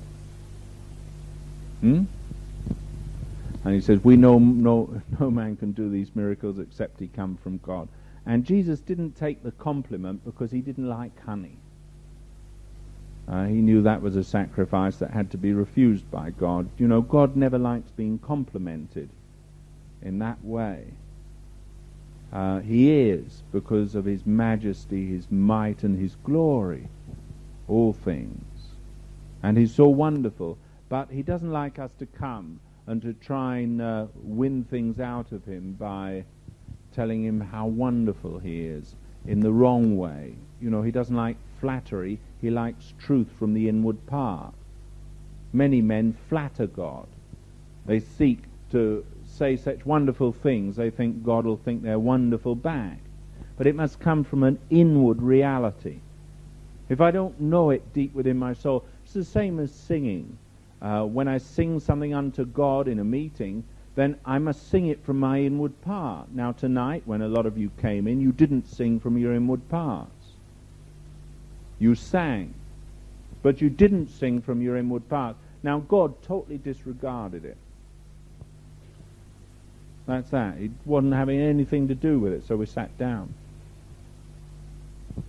And that's that. Now, that's why a meeting will lift sometimes and God moves and it won't lift at other times because people aren't singing from their inward parts. You didn't. Lots of you didn't.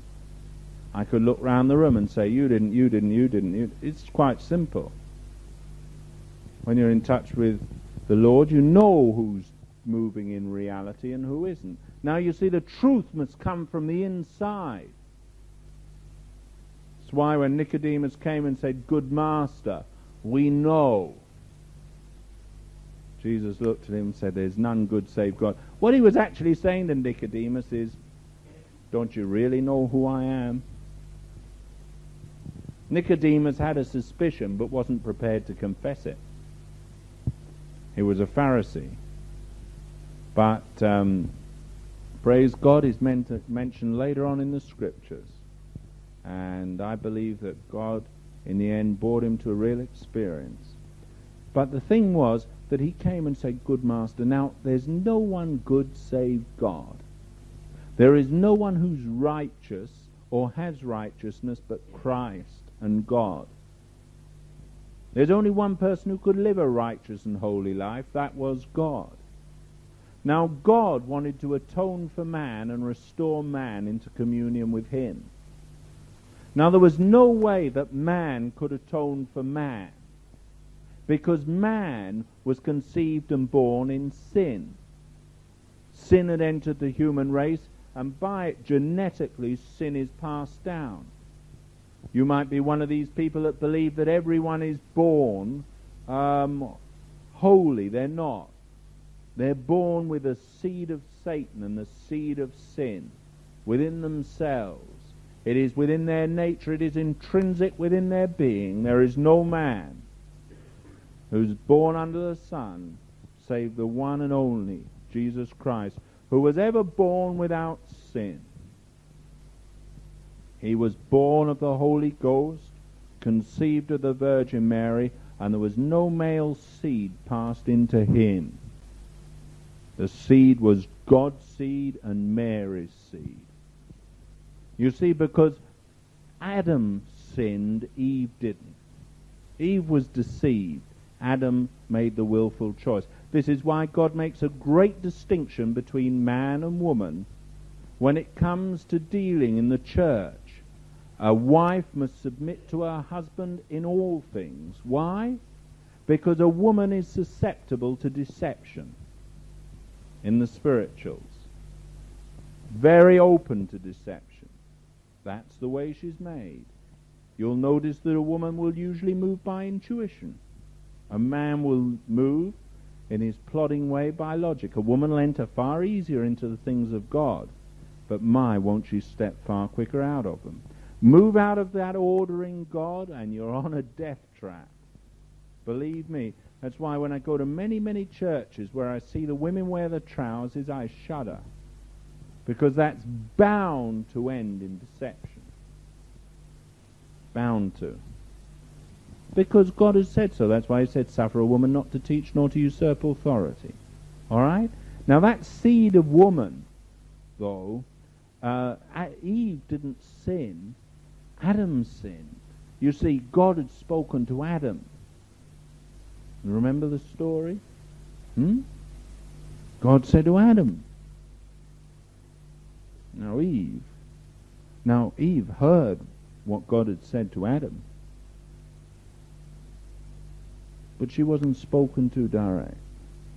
And therefore when Paul recounts it, he says Eve was deceived. Adam sinned. He made a decision and sinned. You understand that? Now, when Christ was conceived, he was conceived of this seed of woman. But it was God's seed who joined with the seed of woman, and therefore that holy thing that was born was a sinless son. Son of God and Son of man. You understand the two had to come together.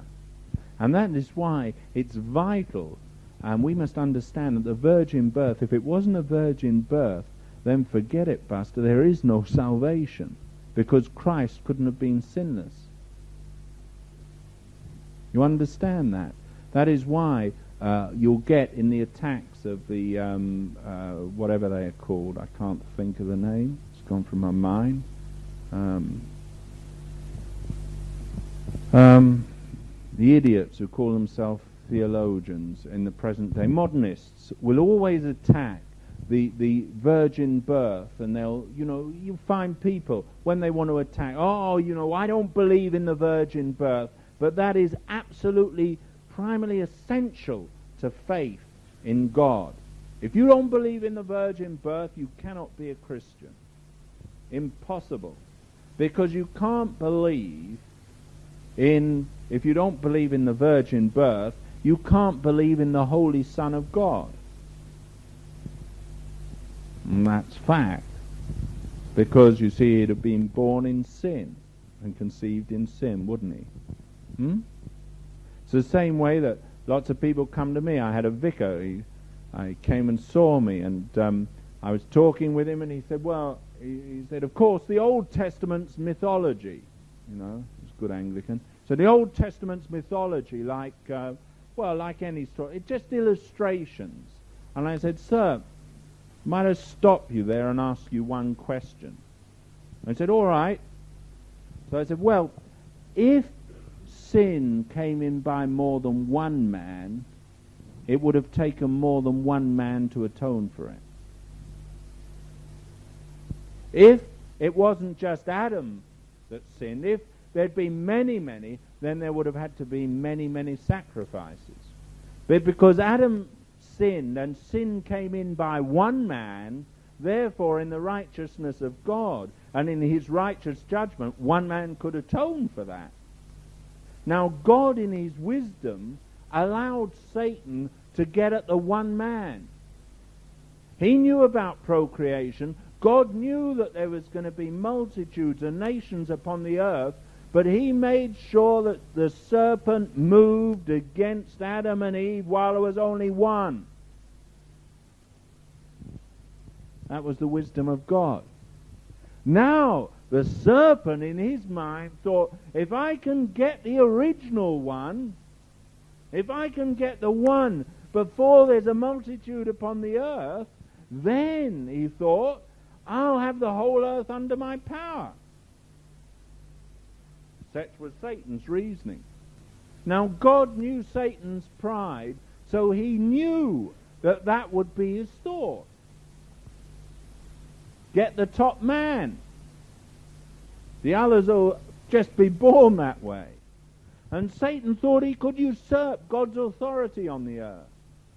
But what Satan didn't bargain with was that when he caused man to rebel against God, what was born and conceived in the heart of Adam was rebellion. So every single person that was born after that had a rebel heart.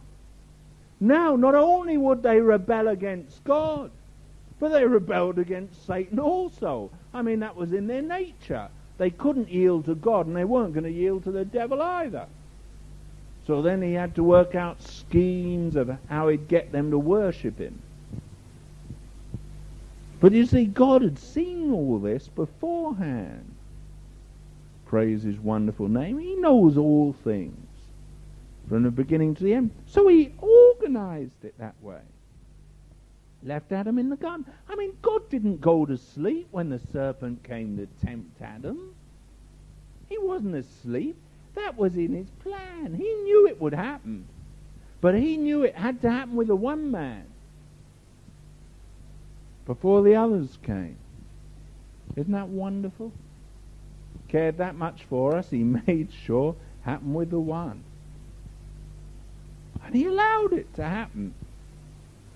I mean, he could have smote the devil dead then and there. He had the power.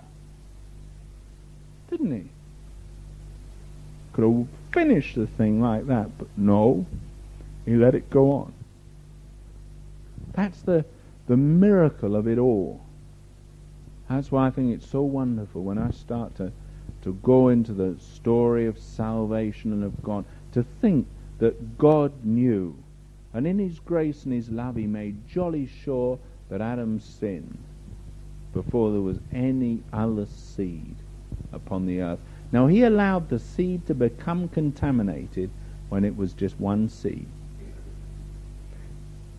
In Adam, all die. In Christ, all are made alive. You see, one man. And that was why it was so essential. Now, of course, if you don't believe in Adam and Eve, you can't be a Christian. Can you? And that's that. I mean, it's just impossible to be a Christian if you don't believe in Adam and Eve. Because a Christ man or a Christian believes in atonement for sin. And if it didn't come by one man, that's Paul's argument when he writes the letter to the Romans. Chapter 5 and 6, you remember? Or chapter 4 and 5, I beg your pardon, where he talks about it. Sin came in by one. In Adam all sin. Hmm? You understand that? In the same way, don't forget, he argues, or, or the writer to the Hebrews argues, should I say, that uh, uh, Levi paid tithes while he was in the bowels of Abraham. Do you remember that? When Abraham paid tithes to Melchizedek. And he argued that Levi paid tithes through Abraham to Melchizedek, even though he was not yet born. You remember that story? Now, he might have been generation further down, but he was still counted to have paid tithes, even though he hadn't been born. So a lot of things that you find God gives you credit for in your life could be two generations back. And a lot of sin that has to be dealt with in you was conceived two or three generations back and sometimes more. To the third and fourth generation. the Judgment of God. And these things work in the spirituals, and that is the way it is. And I want to go on. Our original father, therefore, sinned. And Jesus, the only holy one. And it had to be a holy one. As Adam sinned, Adam was created holy. Adam was created innocent. Now, when I say innocent, it meant that he was without temptation at that point. He was in innocence. He did not know the difference between good and evil. The only command he had from God was you can do what you like, you can eat anywhere, tend the garden, but don't touch the tree in the middle of the garden. And what tree was that? Tree of the knowledge of good and evil. Now don't touch that tree. Take of the tree of life if you want to, but not of the tree of the knowledge of good and evil. Now Adam wanted freedom of choice. So he took of that tree so he could decide what was right and what was wrong. And that is man's fault today. I tell you this, that many, many people, if you want to analyze where they go wrong with God, it's they want to decide what they'll accept and what they won't accept. I find many people, when you turn them to the scriptural page and the good book, they won't accept what the good book says. They'll accept it up to the point that it suits them, but when it touches self in them, then they don't like it. I remember I was asked to see a, woman who um, was violent disagreement with her husband, and I touched on the scripture, "Wives, submit yourselves." Oh, I don't believe in that. She was a women's, whatever they are, Liberace or something, and she, she didn't believe in it, you see.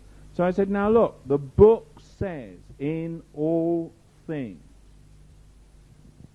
It doesn't give conditions, that's what it says. Ah, well, if he changes, then. No, I said, dear, says that. Says, well, I don't accept it. I said, well, that's what the book says. So she went away, and she's still in darkness, because she's determined not to accept it. Now you have to accept what God says, you see. We haven't a choice of deciding the nature of good and evil. We can't say this is good and that's bad. That is the sin of Adam. He wanted to decide what he wanted as good and what he wanted as evil. Do you understand? Now, God forbade that, and yet we as Christians, so often we like to draw a line and decide what we'll accept of God and what we won't. Now, if that's your touchstone, or if that's the thing you move on, you're yet in your darkness. You haven't ever had your rebel heart dealt with. You see, there is unequivocally no appeal against God's word. God's word is ultimate, God's word is final, and God's word is eternal, and God's word's going to judge you in the day of judgment. It'll be God's word. You'll go up there and say, Well, my husband wasn't kind to me, it is written. Say, Well, I didn't accept that, it's written. And the word will judge you. It says the word's going to judge you. You know, you can read the word and you can obey it, or you can read the word and you can choose to go your own way. Hmm? Got your choice? Said to another man, he came to see me, um, had a ministry, church, so called, and he was living off off what what he didn't get. Well, in fact, he was not living; he was dying by faith. And I pointed out to him there were principles that he was violating in Scripture.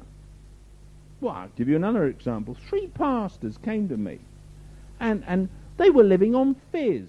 Now, FIS, in case you don't know, is Family Income Supplement. They were living by faith, running churches, collecting FIS. Now, the reason they were collecting FIS is because the church couldn't pay them a high enough income because they were building new buildings. So they were going down and collecting off Social Security FIS. So I said to the three of them, God will not bless your ministry. Well, why won't God? Because God's not supporting you. Oh, yes, He is. No, He isn't, because God doesn't pay for you through Social Security. He happens to have a glorious bank in heaven, and when He wants to call people out to His service, He doesn't use FIS to do it with. Oh, well, Two thirds of the AOG ministers draw it, so why shouldn't we?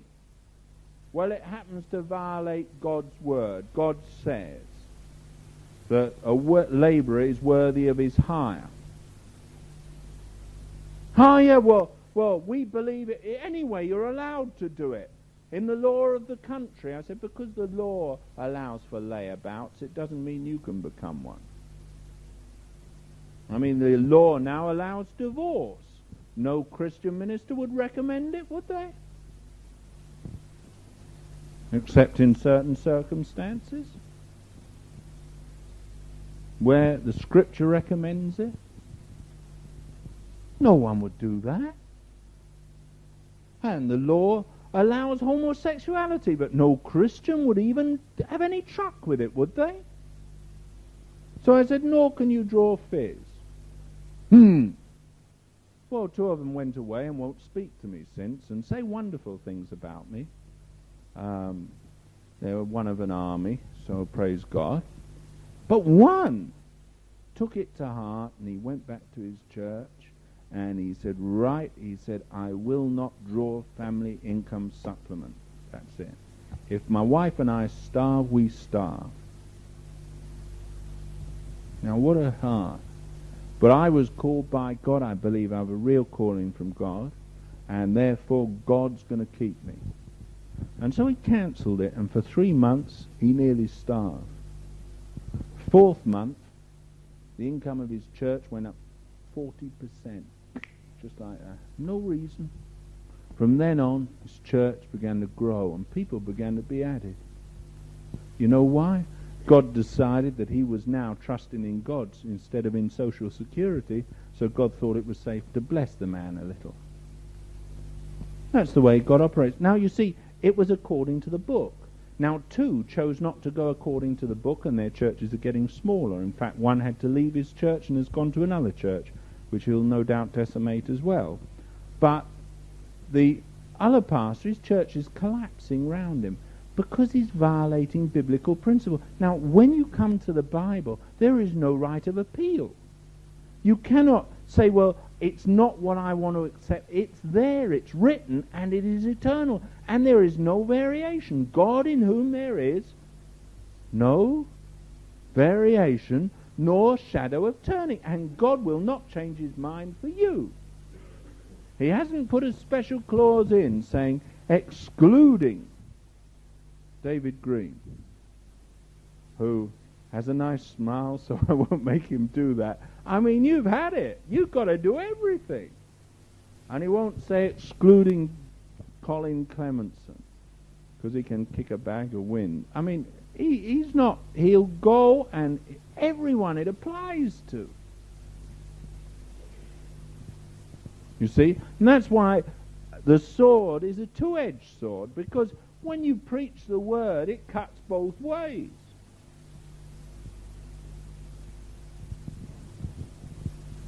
Doesn't it? You see, I have to preach it from my heart, but if it hadn't cut my heart first, then it's not going to do much in you. If it upsets you, I want to tell you something. It upset me far harder and far deeper, far longer ago than you think. You see, there's many of you, but I got the whole lot of me. You see, a two-edged sword, whoomp. But I had to take the lot my way. If you think I'm kidding, I'm not. That's why when people get angry, I laugh. They don't know I got far more angry when I had it under me. and therefore, they don't know. Well, I was born and conceived in sin like you. I did have a mother irrespective of rumours. And I was born the same way. And, and, you know, I had a father. And we're all born that way. And our natures are all the same. Now, it's nothing to be ashamed of. It's something you confess freely. If you really have had God deal with your nature, you know, your sin nature, then you're prepared to open up and admit it. A fool buries his head in the sand. I think there's nothing more, you know, stupid. Have you ever been to the zoo and looked at ostriches with their head buried? I mean, they look totally and utterly ridiculous. With their backside stuck up in the air, two spindly legs, and this neck with a, just disappearing into the ground. Now, they believe that they are safe and no one can see them. That's, what, that's why they do it, for protection. Now, I, I mean, you don't have to be a great, great man of discernment to know that you could go up to that ostrich and give it one hefty boot in the backside, and it would wake up realizing that someone could see him when it had their head stuck in the ground. Um, although an ostrich might boot you back, and believe me, they have quite a kick, I'm told. Um, the thing is that Christians are a bit like that. They try and pretend that their heart isn't what it is. But the ridiculous thing is, it's so obvious to everyone else. The only person they deceive is themselves. Hypocrites only deceive themselves. Jesus sat there. You remember the story of Jesus sitting by the treasury, watching what people, how people put money in. He wasn't watching the amount; he was watching how they did it and there was the widow's mite. You remember the story, and he watched the Pharisees throwing in out of their abundance. You see, it was how they did it. And he was watching. And Jesus watches us, you see. Now he knows what's going on inside, and it's written all over your face, and it's on your forehead, and it's round you, and it's in your disposition of body and spirit. It's obvious. When we move into praise, you can see light and darkness. You can see where it is. If you stand near people, you can feel the deadness of spirits. You can feel a dead spirit. I'm not suggesting you go around testing it. Um, but you can. You just know. If you know. And them that knows, knows. Um, that's why he's given us again. You see, we should witness in our spirits one to another. And you know whether a spirit's alive or dead. Simple. Don't need a great gift of discernment. You know, I was saying, oh, and you discern, you need to discern spirits. You just need to discern whether a man has life or death. That's all. You know, people think it's this discerning of devils. They're always trying to chase devils up the chimney. Silly people. I mean, they're not the trouble. The trouble's sin in people's lives. Can't blame the devil. People incriminate the devil. Accuse him of all sorts of things. And when they get to glory, God will say, Now these are the works of the flesh fornication, adultery, lasciviousness, all the things that they say, oh, it's a spirit of lust, or it's a spirit of this, or a spirit of... God will say, no, it's not. It's a sin of the flesh. It's written. Say, well, I didn't believe it. No, you might not, but it's down in the book. And that's what will judge you. And so, God had to come in Christ. God. And he was the only one that could live a holy and pure life incarnate. God. Jesus said, There's none good save God. What he was saying to Nicodemus is, Nicodemus, I'm God.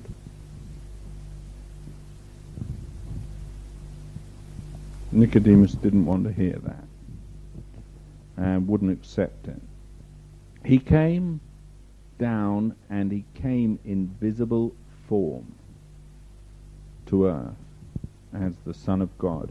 If you turn with me to Psalm 40. Can someone open the door back there so we can get some air, anything to get a little air in? Even I'm hot, so it must be hot. And Psalm 40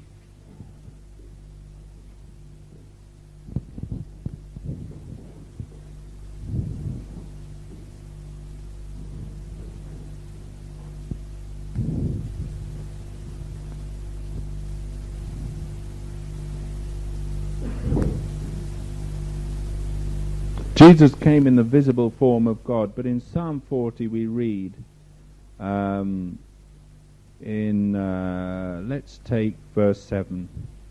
Then said I, um, oh, um,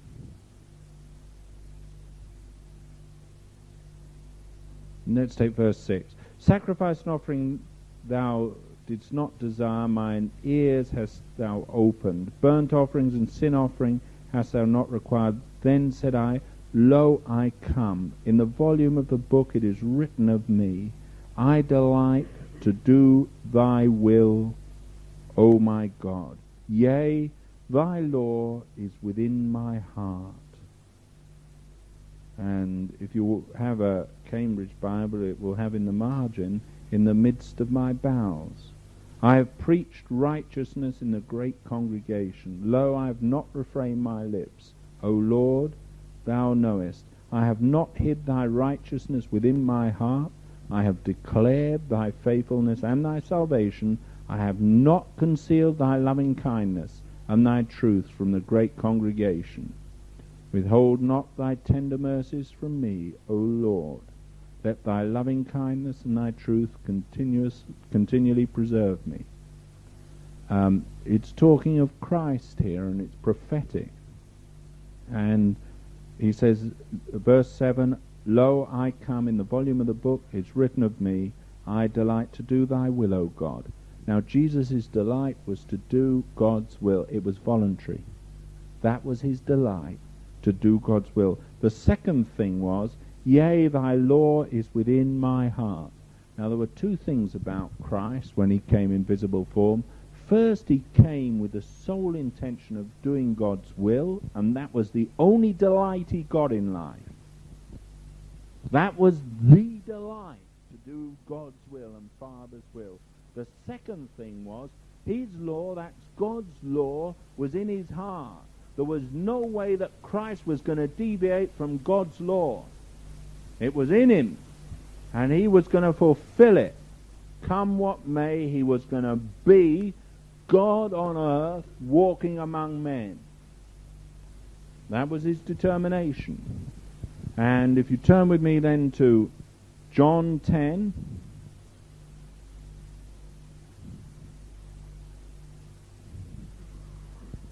And John 10, and we take verse 15.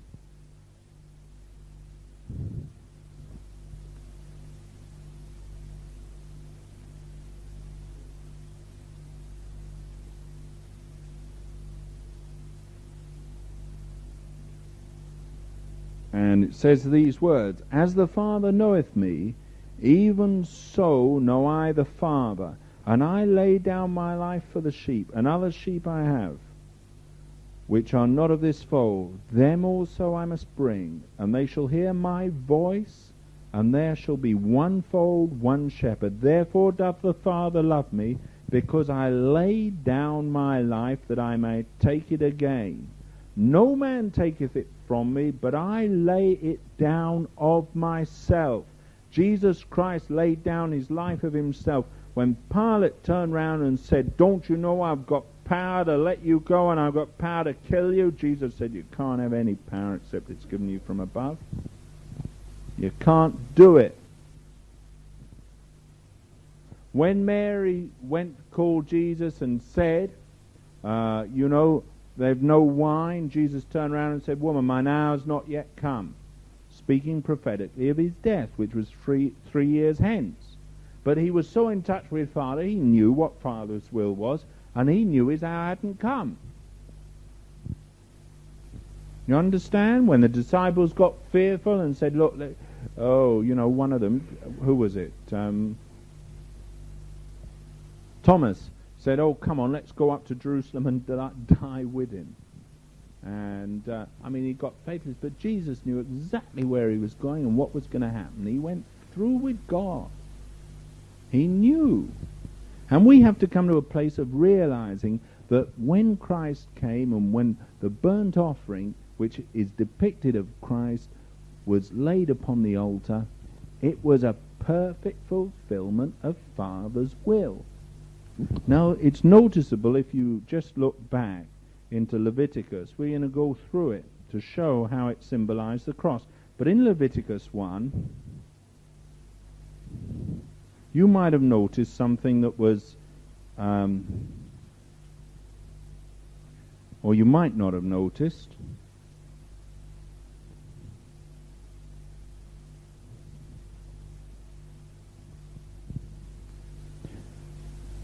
Uh, verse 6 And he shall flay the burnt offering and cut it into pieces, Leviticus 1. And the sons of Aaron the priest shall put fire upon the altar and lay the wood in order upon the fire. Now, firstly, the wood had to be in order. And the priest Aaron's son shall lay the parts, the head, the fat, in order upon the wood that is on the fire, which is upon the altar. And you'll notice that it keeps coming up in order, in order. Now, there was a definite order. And why was there a definite order? Why is it put there by the Holy Ghost? I mean, did that mean they mustn't put it there higgledy-piggledy? No, God wanted it laid there in order. You remember when Abraham flayed the animals? Do you remember in the furnace, smoking furnace passed between them? Do you remember he was told how to divide the animals? God had an order. And God has an order. And if you go on uh, looking in the, into Christ's life, your life, you'll see everything was laid out in order. Everything. Every detail in his life had a prophetic order. It was prophesied before time, and he fulfilled the law and the prophets. It was all done in the perfect order both of the sacrifice being laid on the wood, the wood being laid in the order, and the prophetic utterances all coming to pass through his life in order. And we're just going to examine them. Christ was laid in order upon Calvary. Everything was done in perfect order. And we're going to go through them, and if you've got a pen, mark it down. If you start in Psalm 22, verse, verse 18. Psalm 22.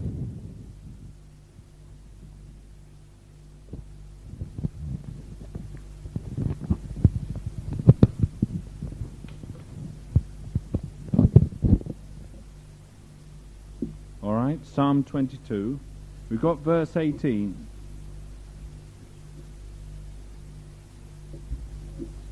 And it says these words they part my garments among them and cast lots upon my vesture. Did they or didn't they? Yes, they did.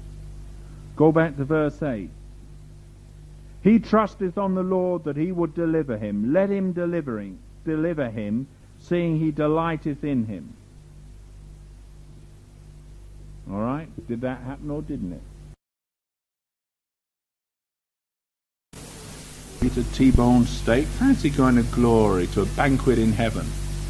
And you find it's steaks all over the table. ah, I'm a vegetarian, you'll say. ah, you say, I never touch alcohol. Oh, my cup's full and running over. Hallelujah. Now, I'm not suggesting that you eat excess or you drink to excess, but I'm saying in heaven you'll have a glorified body. And who knows what it can take? uh, and you won't put on weight either. Glory to God. Well, it says we're going to a banqueting hall, doesn't it? What are you doing at a banqueting hall? Eat! Glory. Shane will be happy there. She won't have to do the cooking. yeah, you call it, you know, it's a place of joy. And Psalm 40, verse 8. It's good to laugh. Laughter's medicine for the soul. Hmm? And Psalm 40, verse 8.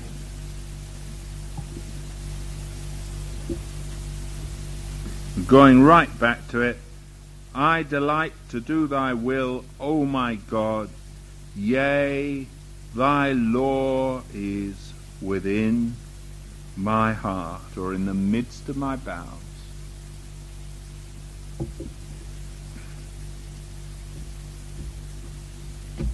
Jesus Christ, when he was put upon the cross, his bowels had been washed with pure water. His legs or the walk of his life had been washed in water. He was nailed, the wood was put in order. He was flayed, his inner being was revealed. Everything was exposed to man and to the world. And he fulfilled perfectly the word of Father. Hmm?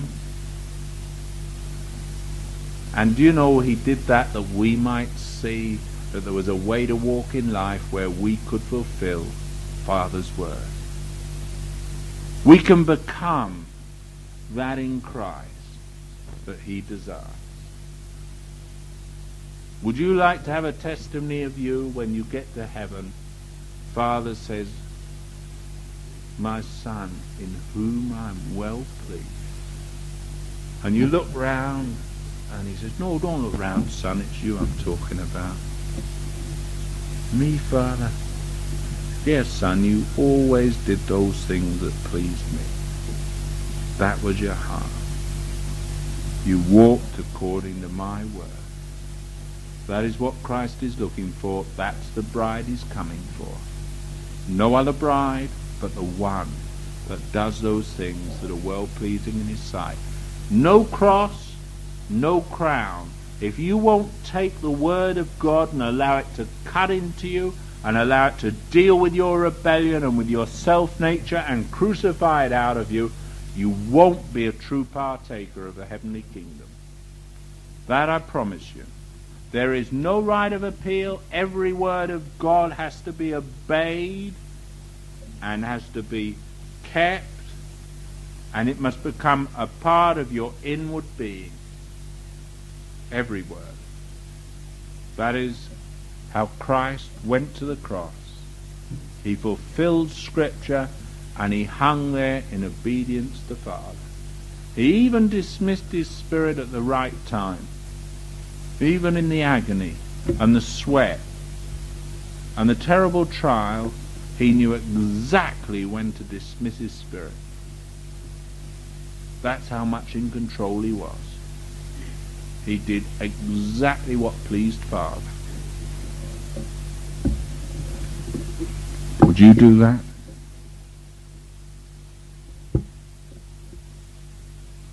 Or are you hiding under your fig leaves with your self nature and your sin very much prevalent?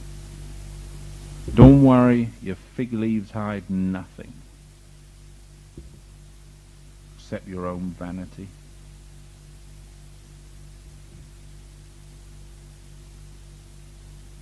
If you don't let God come and deal with you, you'll never enter in. There's a way into God, but it's got to be by the cross. That word's got to go down into your heart, and you've got to be a, a willing, willing, voluntary obeyer of that word. You've got to do it with a free and happy will. That is the burnt offering, the part of the sacrifice of Christ that was the free will offering. Is that the part you're willing to give to Him?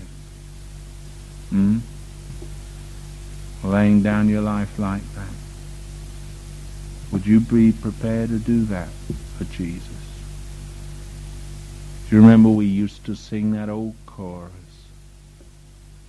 I'd like to sing it again. You play. I delight to do thy will, O Lord. You know, tonight I've shared with you what Jesus did. You know his love for you. Are you prepared to move toward him and open your heart for him to move in you? Or are you still living with your self-righteousness and your rebellion? We're going to sing it.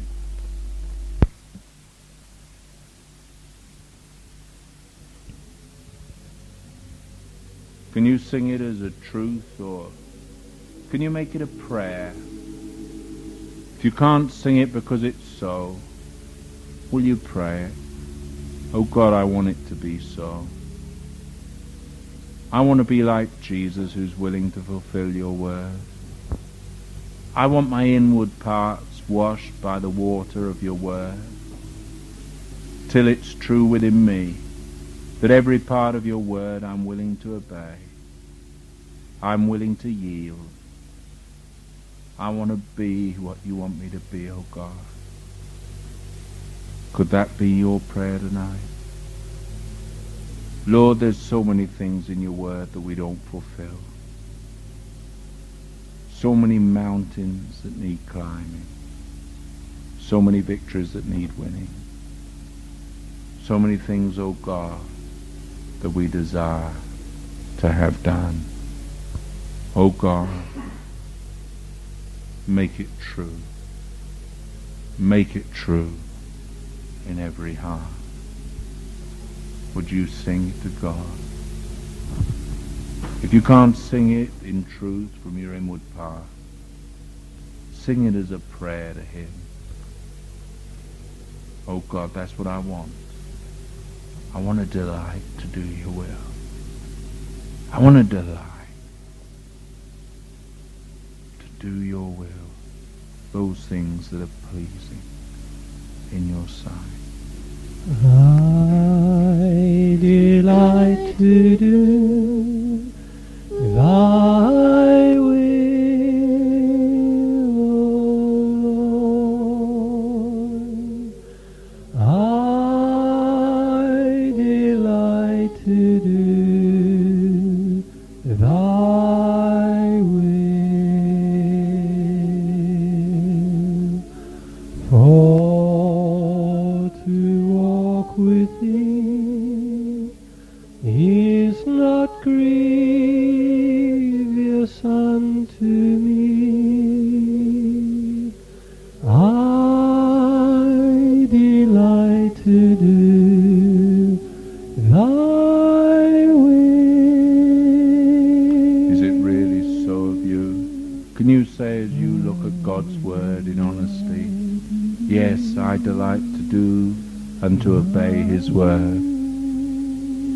Yes, I'm prepared to be the embodiment of what he desires.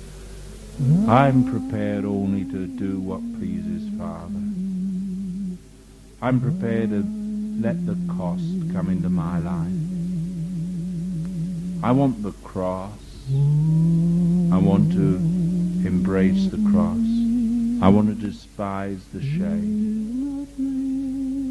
I want to do what God desires. I don't want to have any excuses. I don't want to compromise my life. I want to go God's way 100%. If anything's shady or doesn't seem quite right, then I'll fly from it. I'll go 10 miles extra just to go God's way. I'd rather do excessively more than God desires than just to scrape through. I'd reach down to the furthest mile, oh God. I want to do your will. Oh Lord, I want it to be a delight. I want to delight your heart, oh Father. I want to be pleasing to you. When I look at what Jesus has done for me, oh Father, then how can I do anything but yield myself to you and desire only to do your will? Oh God, oh God, touch every heart. You want truth in the inward parts, oh God. You don't want to share. You don't want something that's not real. You want something real within. There's so many, oh God, that don't know truth in the very inward parts. Don't desire do your will. They find it grievous. But oh God, it should be a joy to please you. A delight to have the cost. Lord, work it into our lives. Have mercy on us. Make that new covenant with us. Write your law in our hearts. Write your truth in our inward parts, O God. Let the water of your word cleanse us within. Let our inward being be cleansed. Cleanse our legs, our walk. O Jesus, Jesus. Make it a prayer of sincerity, O Lord, from each heart, from each life, from each being. I delight. I want to delight to do your will. I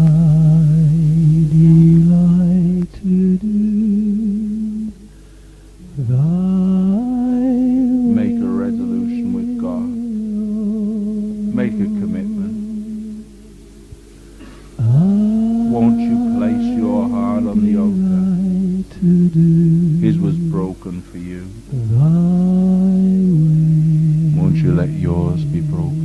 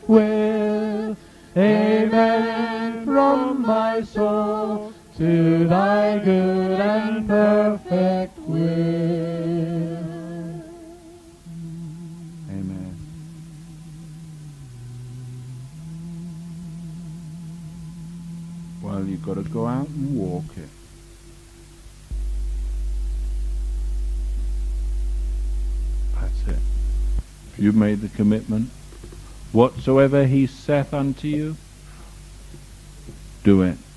And remember, the water of the wedding feast turn into wine for life as they did it. Amen. Well, time's slowly crept by.